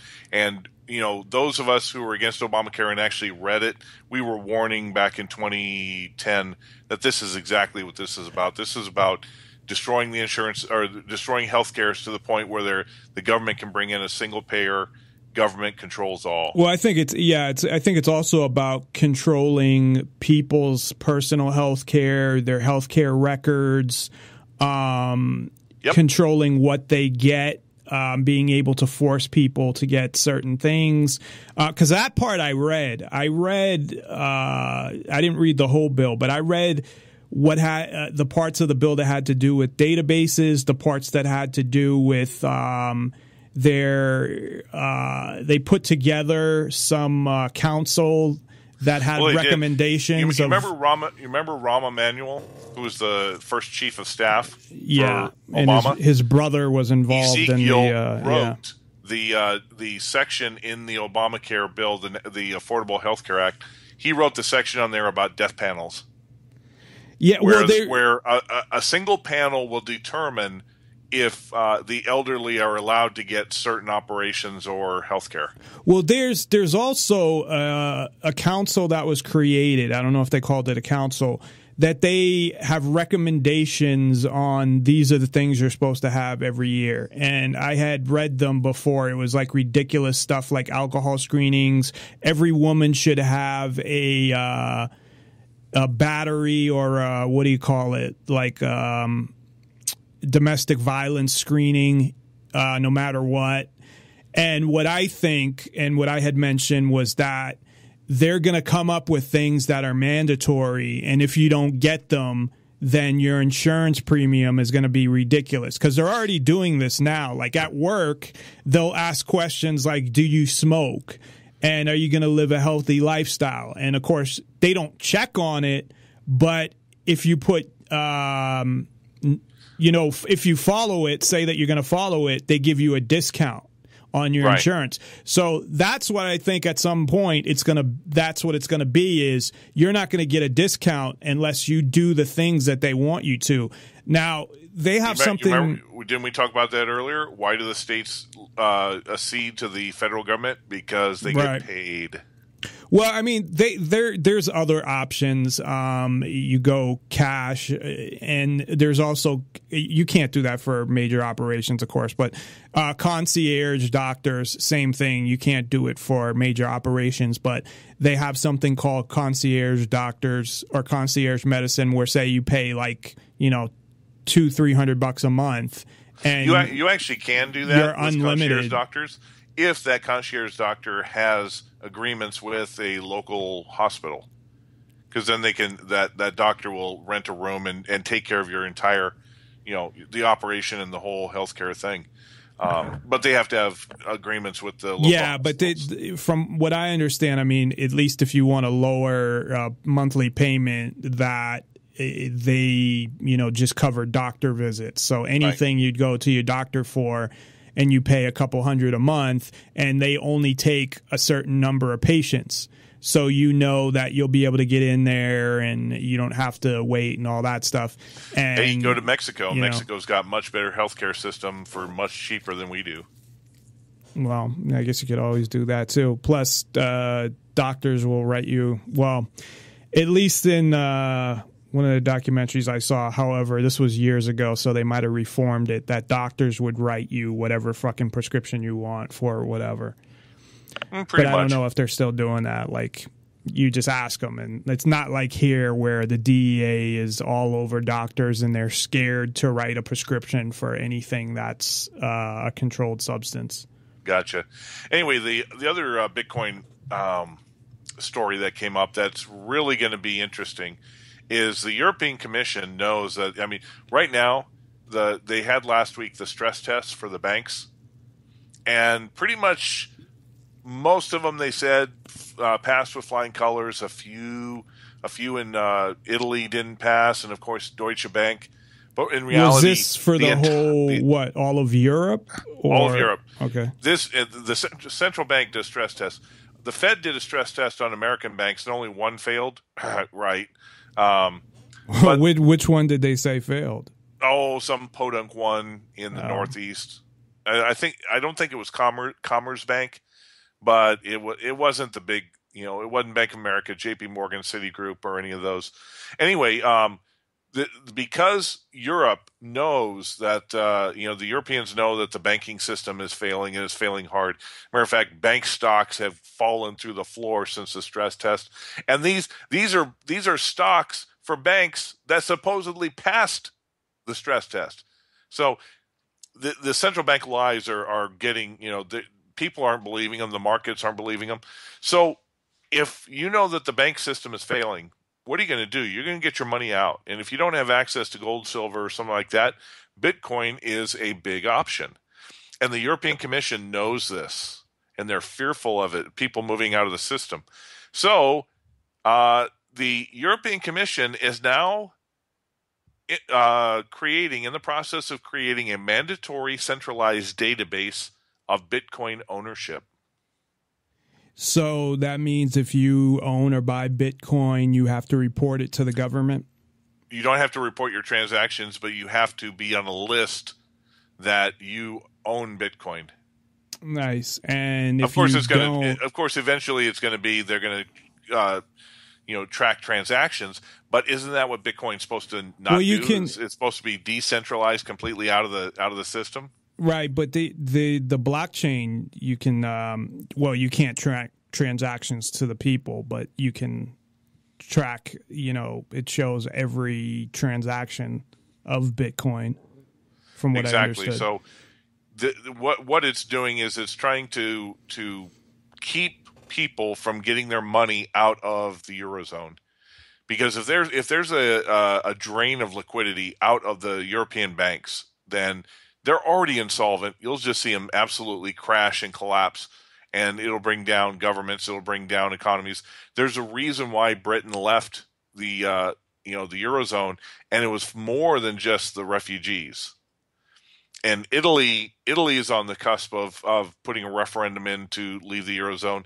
Eurozone's already going away, and um, So how much longer does it end up uh, lasting? What about Greece as well? Because I know they were in a lot of trouble it's, financially. it's going to last until we're we're going to see we're going to really see if it can if it can stay and probably first quarter of 2017 because there are three big elections that are going to do that. France, if Marine Le Pen, which she leads way in the polls over over Hollande, if Marine Le Pen gets into the uh, prime minister and the pre- or the presidency of France, she is anti-euro, anti-EU. She'll pull them out. Italy, if they don't get the bailouts that they need for their banks, then Matteo Renzi will probably pull out. Greece, Greece just got beaten over by a stick and they've given up. But Germany, if Germany starts sensing that the rest of the Euro, eurozone is falling apart, they're either going to try to create their own Nordic eurozone and leave the southern European countries and Britain out of it, or they're just going to leave completely and they're going to move into the Russian camp to the Euro- Eurasian Economic Union. Why have uh, all these unions? I, I know a lot of uh, the powers that be, you know, ultimately ultimately want world government, and that's a eh, obviously a step in that direction. But why even? Why not just be your own independent fucking country? Look, the reason the reason the European Union started, okay, It's it, the the European Union started with an, a trade agreement between a French um, French mining company and a German manufacturing company in 1954. Okay, this was only nine years after World War II. And the whole premise behind the Eurozone was if we can create an economic union of all the states, then the chances are much less that we're going to have nationalistic states going to war. You know, because they had two world wars between Germany, France, Russia, Britain, Italy. It took it took everybody in there. So they thought if they could create a European Union. The other the second reason behind it is is Europe was completely devastated after World War II, and America was the um, you know economic power in the world. Russia was was uh, the resource power in the world, and Europe was was persona non grata. They were nobodies. So they thought if they could come together as a continent, then they could become a superpower economically to compete with uh, you know the Soviet Union, America, and then of course China was rising. So that's what it started out with, and it was okay. But in 1999, they decided to go to a centralized currency, the euro. And you know, most of the analysts who looked into it said this is not a good thing, but they went ahead and did it anyway. But what they've done recently is uh, the European Commission is an unelected body out of Brussels, uh, Belgium, that pretty much mandates everything for the eurozone now. So the what became originally a trade organization and then a, uh, a Europe a singular currency is now a political um, union, and that is what they didn't want. Right. So that's, that's, why you're seeing. And once but they that probably the was the plan union, from the beginning. Right. But once they moved into the political union, now everybody wants to leave. They're done. You are not going to have because think about it. After 2008, the European Commission appointed leaders in Italy, Greece, and Spain, unelected bureaucrats who were Goldman Sachs bankers. Mario Monti, uh, Papandreou, and another guy I forget in Spain. Okay, the, they kicked their they kicked the elected leadership out and said we're going to put in a banker if you want to borrow money from the European Central Bank. And that's what happened in 2009, 2010. They had unelected bureaucrats, Goldman Sachs bankers who were running the country. And that was the beginning of the end. So that's why you're going to see the Eurozone go, is because these countries don't want to give up their political power to an unelected body of uh, elite elitist banking bureaucrats. Right, and that's what I was saying. Like, why now, why not be independent? Um, now the transfer over is is because because look, the U.S. has has dominated global affairs with by by the fact that they're the singular reserve currency, right? The dollar, everybody has to use the dollar, and because of that, they have to go through the SWIFT system. Well, if if you are in opposition to the foreign policies of Washington, what does the government do? They put sanctions on you. They they say you can't use SWIFT. Well, if you can't use the dollar, then you, you just lost a bunch of trade partners. So these economic unions like the BRICS, you, you know, you know, we've talked about the BRICS: Brazil, Russia, right. India, China, South Africa. The BRICS, we have the SCO, which is the Shanghai Co- Cooper, uh, Shanghai Cooper, Cooperation Organization, the SCO. We have the EEU, the Eurasian Economic Union, which is Russian based. What these are are their their trade organizations that allow their members to trade bilaterally with their own currency and not have to use the dollar. It's a way for, for countries to get out from under the Damocles sword of Washington neocon, you know, foreign policy. Well, China, and this is the biggest piece of news you're going to see, you know, in the this month. China got into the uh, IMF's SDR basket about six to nine months ago, and the SDR is a um, global currency that's run by the IMF. Think of it as like the euro is for the eurozone. The SDR is for the IMF. It's called the special drawing rights. What it is is it's a compilation, a basket of currencies that has dollars, yen, euros, and British pounds up until um, nine months ago, those were the four that were in the basket. The fifth, the yuan, they were they were allowed to be in. So now we have five different currencies that make up the SDR. This is a way to diversify the the uh, reserve currency so that you know one currency isn't so strong and everything is weak. This has a basket of different currencies. Well, China by getting in there is now throwing an attack at the dollars dollar is the singular reserve currency. What they did is they uh, let me let me read this. Uh, um, uh, in August of 2016, we're now in August. China is very close to the first SDR issuance of the private sector since the 1980s. What uh, what is going to happen is is that the uh, World Bank and the China Development Bank will issue private sector M class SDRs in August. What this means is is that if a country wants to do trade, they can purchase SDRs instead of dollars to buy oil, um, natural gas, resources, commodities, or trade.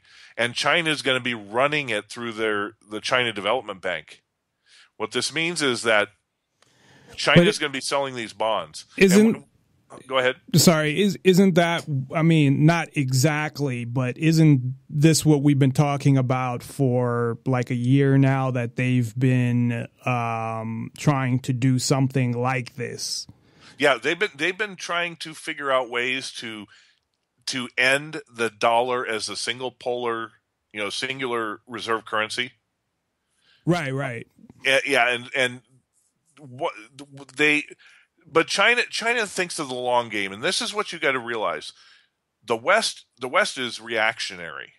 Okay, we just see this. The Fed, you know, the Fed can't even figure out to, to raise rates. Well, you can see it. Just look at any. I mean, never mind financially. Just look at anything that happens in the news, and then they got to pass a law uh, the next week. You know, anytime anything happens, they just react like exactly like idiots.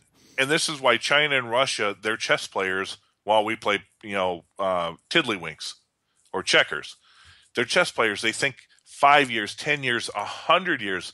You know, China has been around 5,000 years. They have a long history. They're very patient. And so when they want to do something, they just don't do it, you know, immediately and then deal with the ramifications or the consequences. They slowly, subtly start taking over. And this is why they survived so long is because when the Mongols took them over or the Tartars or whoever, in the history, the Japanese, what ends up happening is the conquerors who come into China over the next few centuries, they just absorb into China and become Chinese. So that's what China does is they they slowly go out and as people try to attack them and come in and conquer them, they absorb them. Think about it.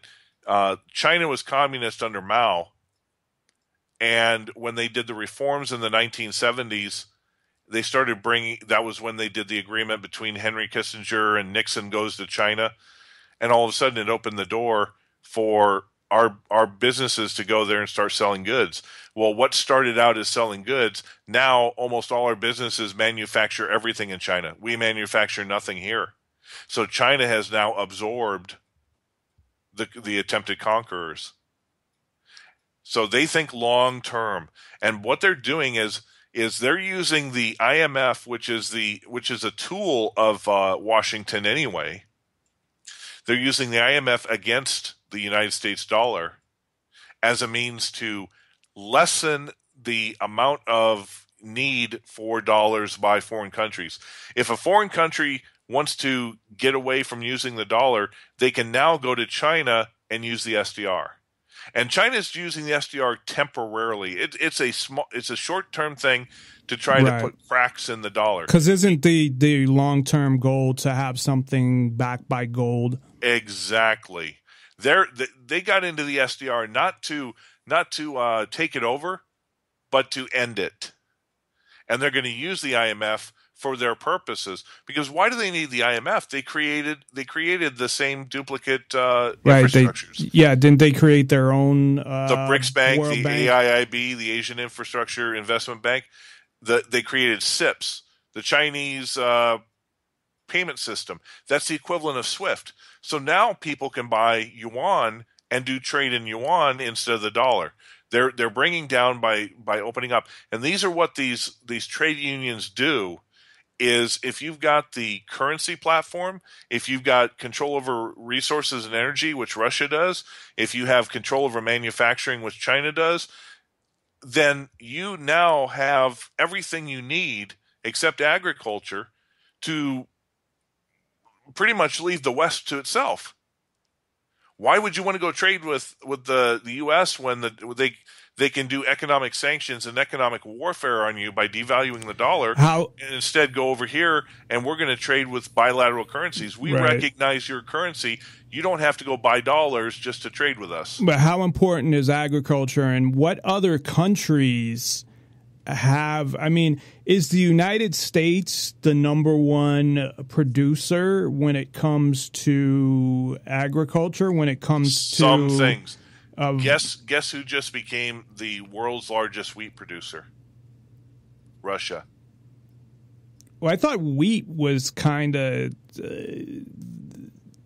that they had too much. Uh, the world had too much wheat or something, and they were putting it in all this shit because. I, and I could be thinking of something else. I know corn was one of those things too. Corn, corn is the one Um, that's a lot, and that's why they're putting it But I thought with wheat too, like there was, and I could be wrong, but Um, not necessarily, but here's the kicker.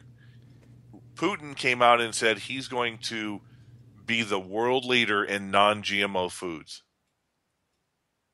well, so that's do you that's a think the positive world that thing, wants to obviously. get real fresh food, they're going to go buy from Russia.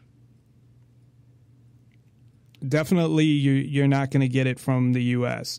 No. um, you're certain people. Well, the the one thing that is positive, although you don't know who it is. Because when you go to the store and you buy something that's certified, you don't really that that doesn't necessarily mean that it, it's non-GMO. First of all, even though I buy all the non-GMO shit, um, I'm not sure. You know, there's certain brands that uh, I stay away from, but I'm not sure of who's reliable and who's not. Well, Um, just remember this: the the guy who runs the FDA right now, the Food and Drug Administration, he's a former executive of Monsanto. Yeah, see, there That's you go. all you have to and, know. and that's what happens. Just like Hank Paulson used to run, you know, Goldman Sachs, and Yep. then he was the uh, Secretary of Treasury. But you do have a movement in the U.S.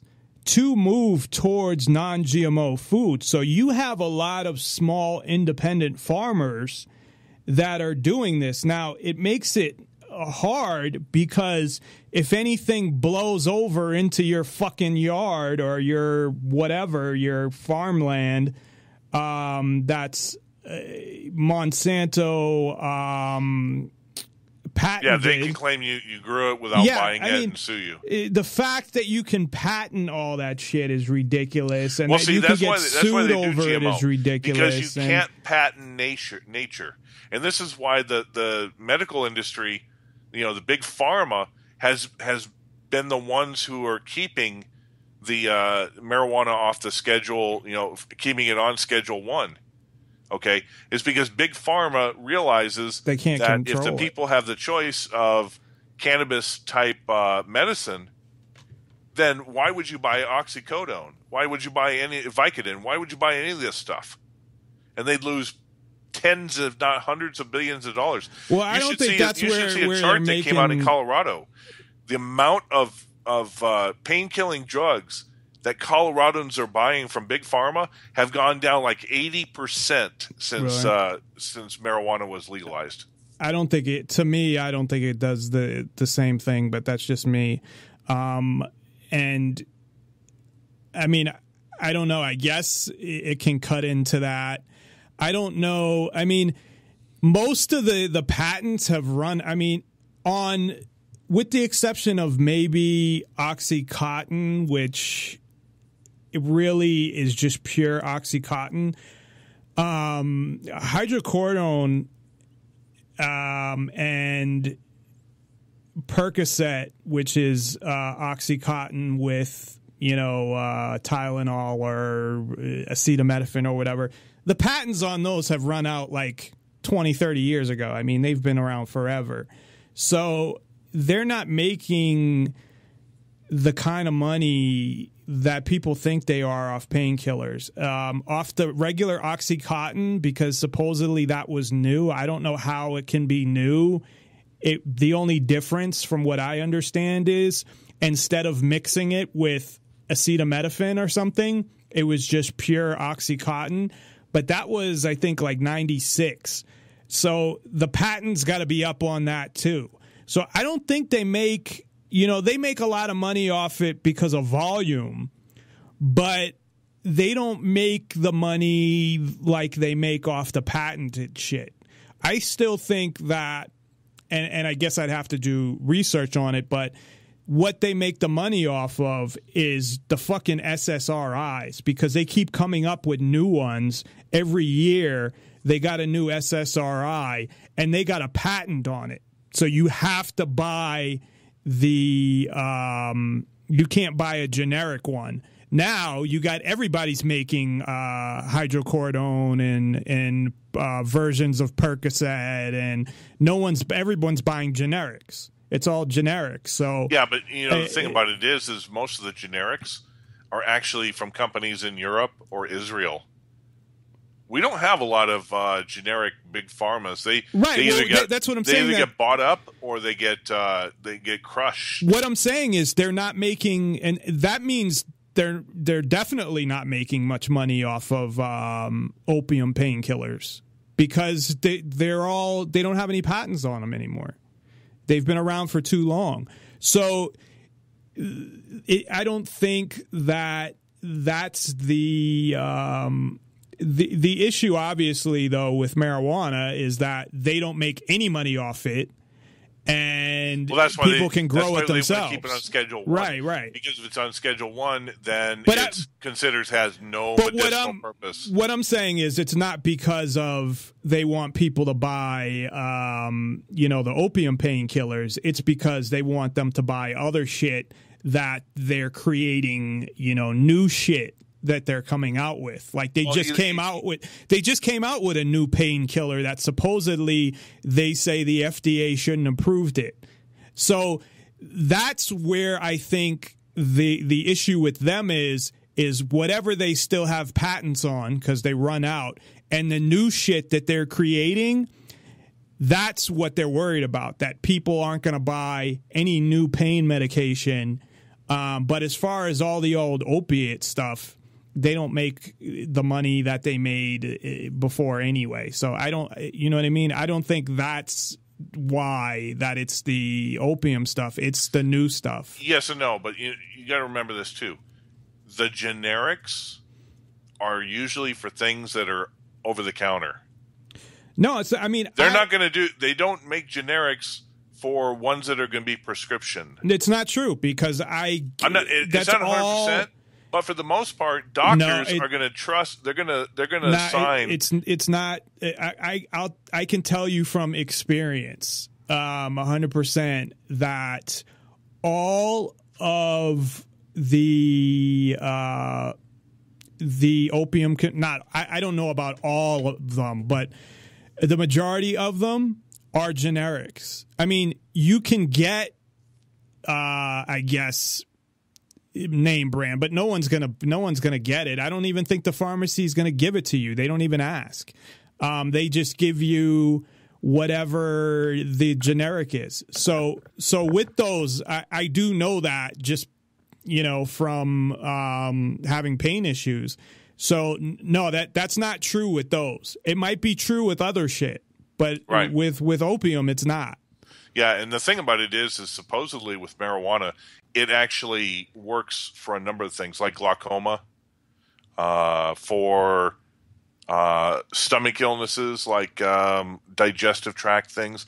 So you know, it goes more than just pain pain remedy. Yeah, But that's what what, I'm they've saying. what they've it's- discovered- it's other shit though. It's not the opium. and by the way, when I say big pharma, I even I even count the generic companies too, because today most drugs that are being created aren't being created by Pfizer or AstraZeneca or whatever. They're being created by biotech companies that are, No, there's that are like- using genetic genetic uh, you know research to try to create these type of new drugs. They're not going Yeah. back to the old Well, the old fashioned way. They have even found a way. There's a new discovery, and they're worried about people finding out how to do this. Is creating opium um, and uh, oxycontin from fungus. I don't know if you heard about that, but No. they figured out a way to use fungus, I guess, to create opium. I, I, I, I I don't know that I would take fucking take that shit. I'd rather the, you know, the thing about opium, and I've done a lot of research on it, is you know, opium's totally natural. It's a fucking plant. Most people don't realize uh, that. It's from the poppy. Um, yeah, it's it's the basically it's a poppy, and inside the poppy is a sticky liquid, and that's opium. And yes, they do uh, do some stuff to it to get out because there's more than one uh, kind of chemical in it. There's like uh, um, I think there's four different things, and there's percentages of it, and they only want to get certain things out of it. But it, it's you know it's a it it's still natural. That doesn't mean just because it's natural that it's good for you, but I much rather trust something like a painkiller that's most mostly from a plant than an SSRI that is totally manufactured in a fucking lab um, Well, you- and is yeah, totally unnatural. But the poppy the poppy plant is sort of like petroleum oil. Because oil, if you distill it different ways or refine it, you can get gasoline, kerosene, Yeah, you can get diesel. well because it has It's the same thing morphine with- and with codeine. is You can It- get, yeah, get morphine, you can get codeine opium from it too. Codeine, yeah, you can you can, Well, you can the- the- I refine think- it in different ways to get the same type of thing. as a whole it's opium but you within the opium is morphine and codeine and um, there's a couple uh, other things that they use different alkalides to um, or their alkalides in there that and then they get them out and then they you know through whatever process.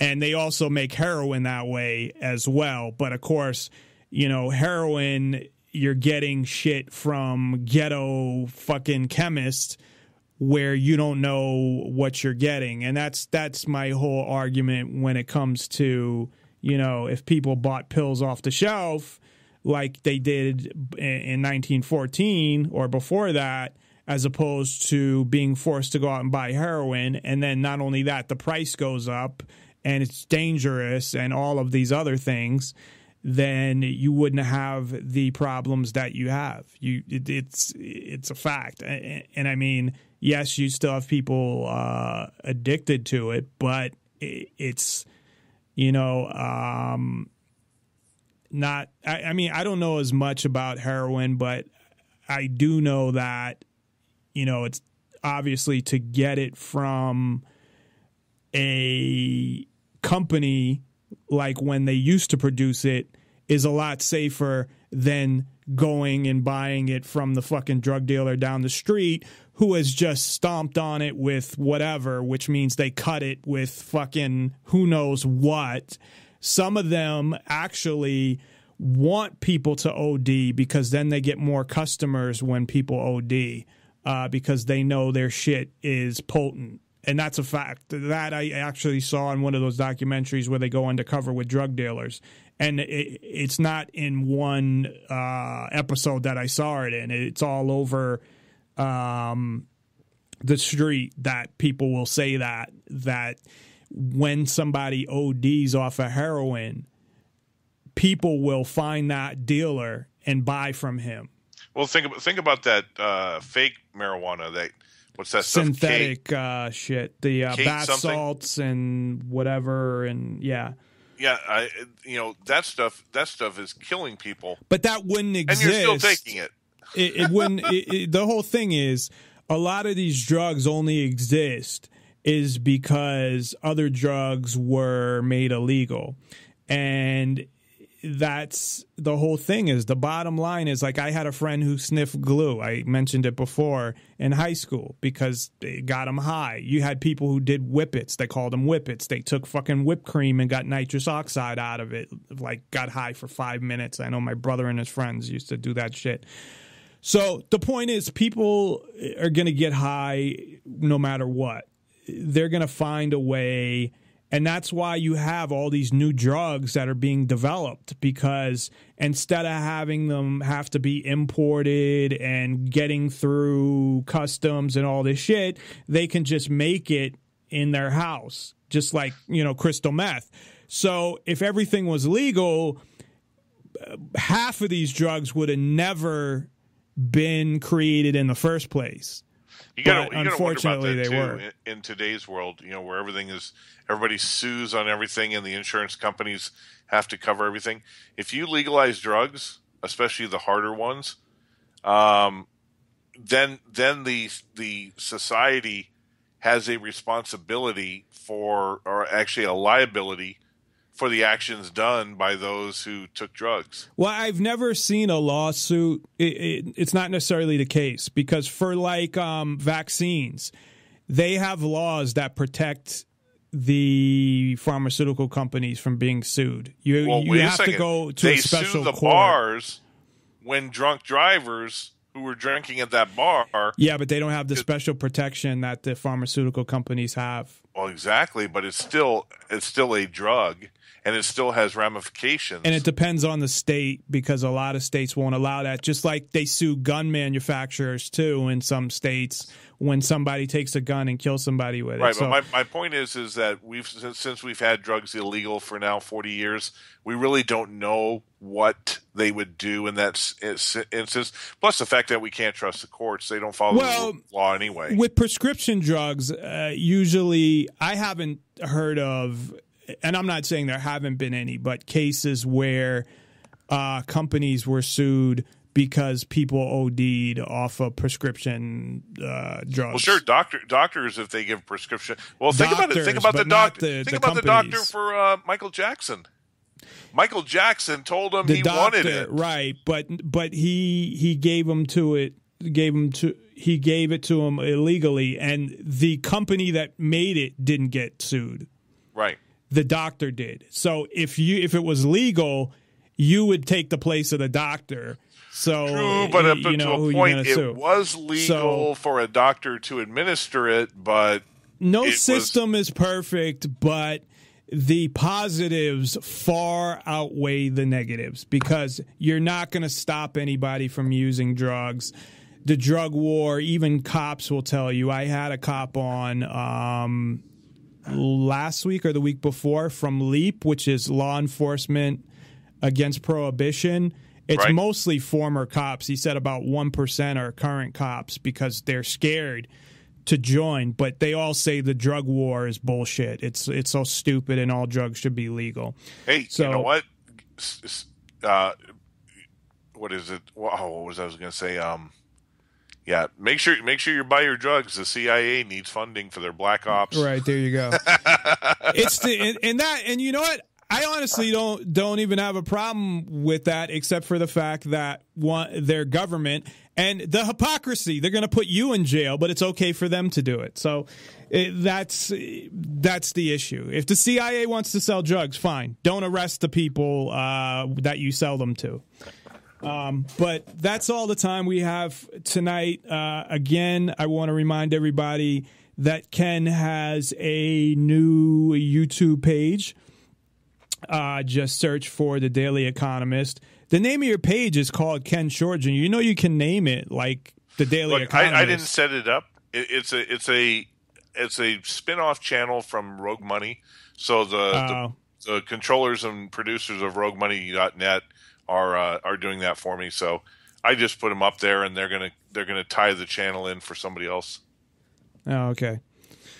Oh, you should have you should have done it yourself. Or does it does it benefit you to have well, them do we're it? building we're building it so that I, I see. I, I'm part owner of RogueMoney.net, so oh, okay. if it makes money for RogueMoney.net, then you know then I it makes get money for it. Yeah, yeah, yeah. exactly. Oh, that's cool. Okay, well, go check that out. And like I said, if you put your name in, it will come up too, but it will just come up further down. What comes up actually higher than that is is all the shows that of mine that you're on. Yeah, and then there was uh, Angel Clark. That's why. and, That's why I suggest you do the Daily Economist versus Ken Schortgen because that will put it up at the top. Well, Uh, both are otherwise, in it's there. me. It'll be hard to find. Both are, are in there. It's it's a Daily Economist, but um, no, when you put in the Daily Economist, it comes up before mine. It's just when you put in Ken Schortgen, um, it doesn't come up that you know you still come up in the first page, so you'll be okay. And pretty soon, you know, mine's not. Uh, the majority of my listens are not from YouTube anyway. Although, of course, at, at some point, I'm going to set it up where I'm going to do, um, I'm going to record directly live through YouTube and Spreaker at the same time. So you can listen to it or you can watch me sitting in the studio. I, I don't know how exciting that's going to be.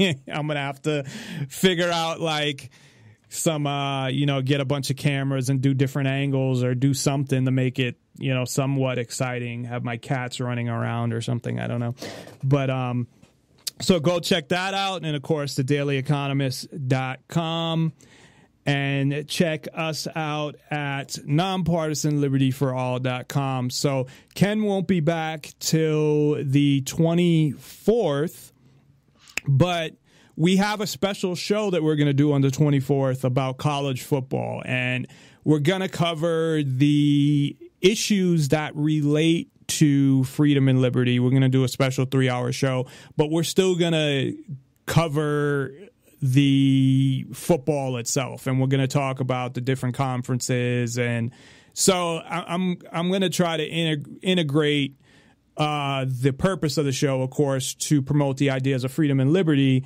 But at the same time, we're going to talk about football too. So that should be a fun show. And that will be on August 24th. So, uh, Ken, I will see you then. And thanks as always for uh, coming on the, show. You got it. And don't forget, kill Bourne. Killborn, thanks. is there a Killborn? Jason Bourne is the the, the movie. Yeah, oh, oh, because of the uh, clip too. Yeah. Well, what was it? You cannot. Um, you can't catch. It was something like that. Yeah. What was it? Can't we'll play that. Alpha team report. What's happening, Heather? Alpha team isn't responding. Bravo? Still nothing. You lost both teams? Get a grip on this operation, Heather. That's bored. Green light the asset. Sir, I need more time. We have no time. Are you going to give that order or not? Sir, please. You're too naive to see the truth. There's no bringing in Bourne. That's right. There's no bringing in Bourne. So thanks everybody, and uh, I'll see you tomorrow. Listen to police officers' commands, listen to what we tell you, and just stop. The nation needs to realize that when we tell you to do something, do it. And if you're wrong, you're wrong. If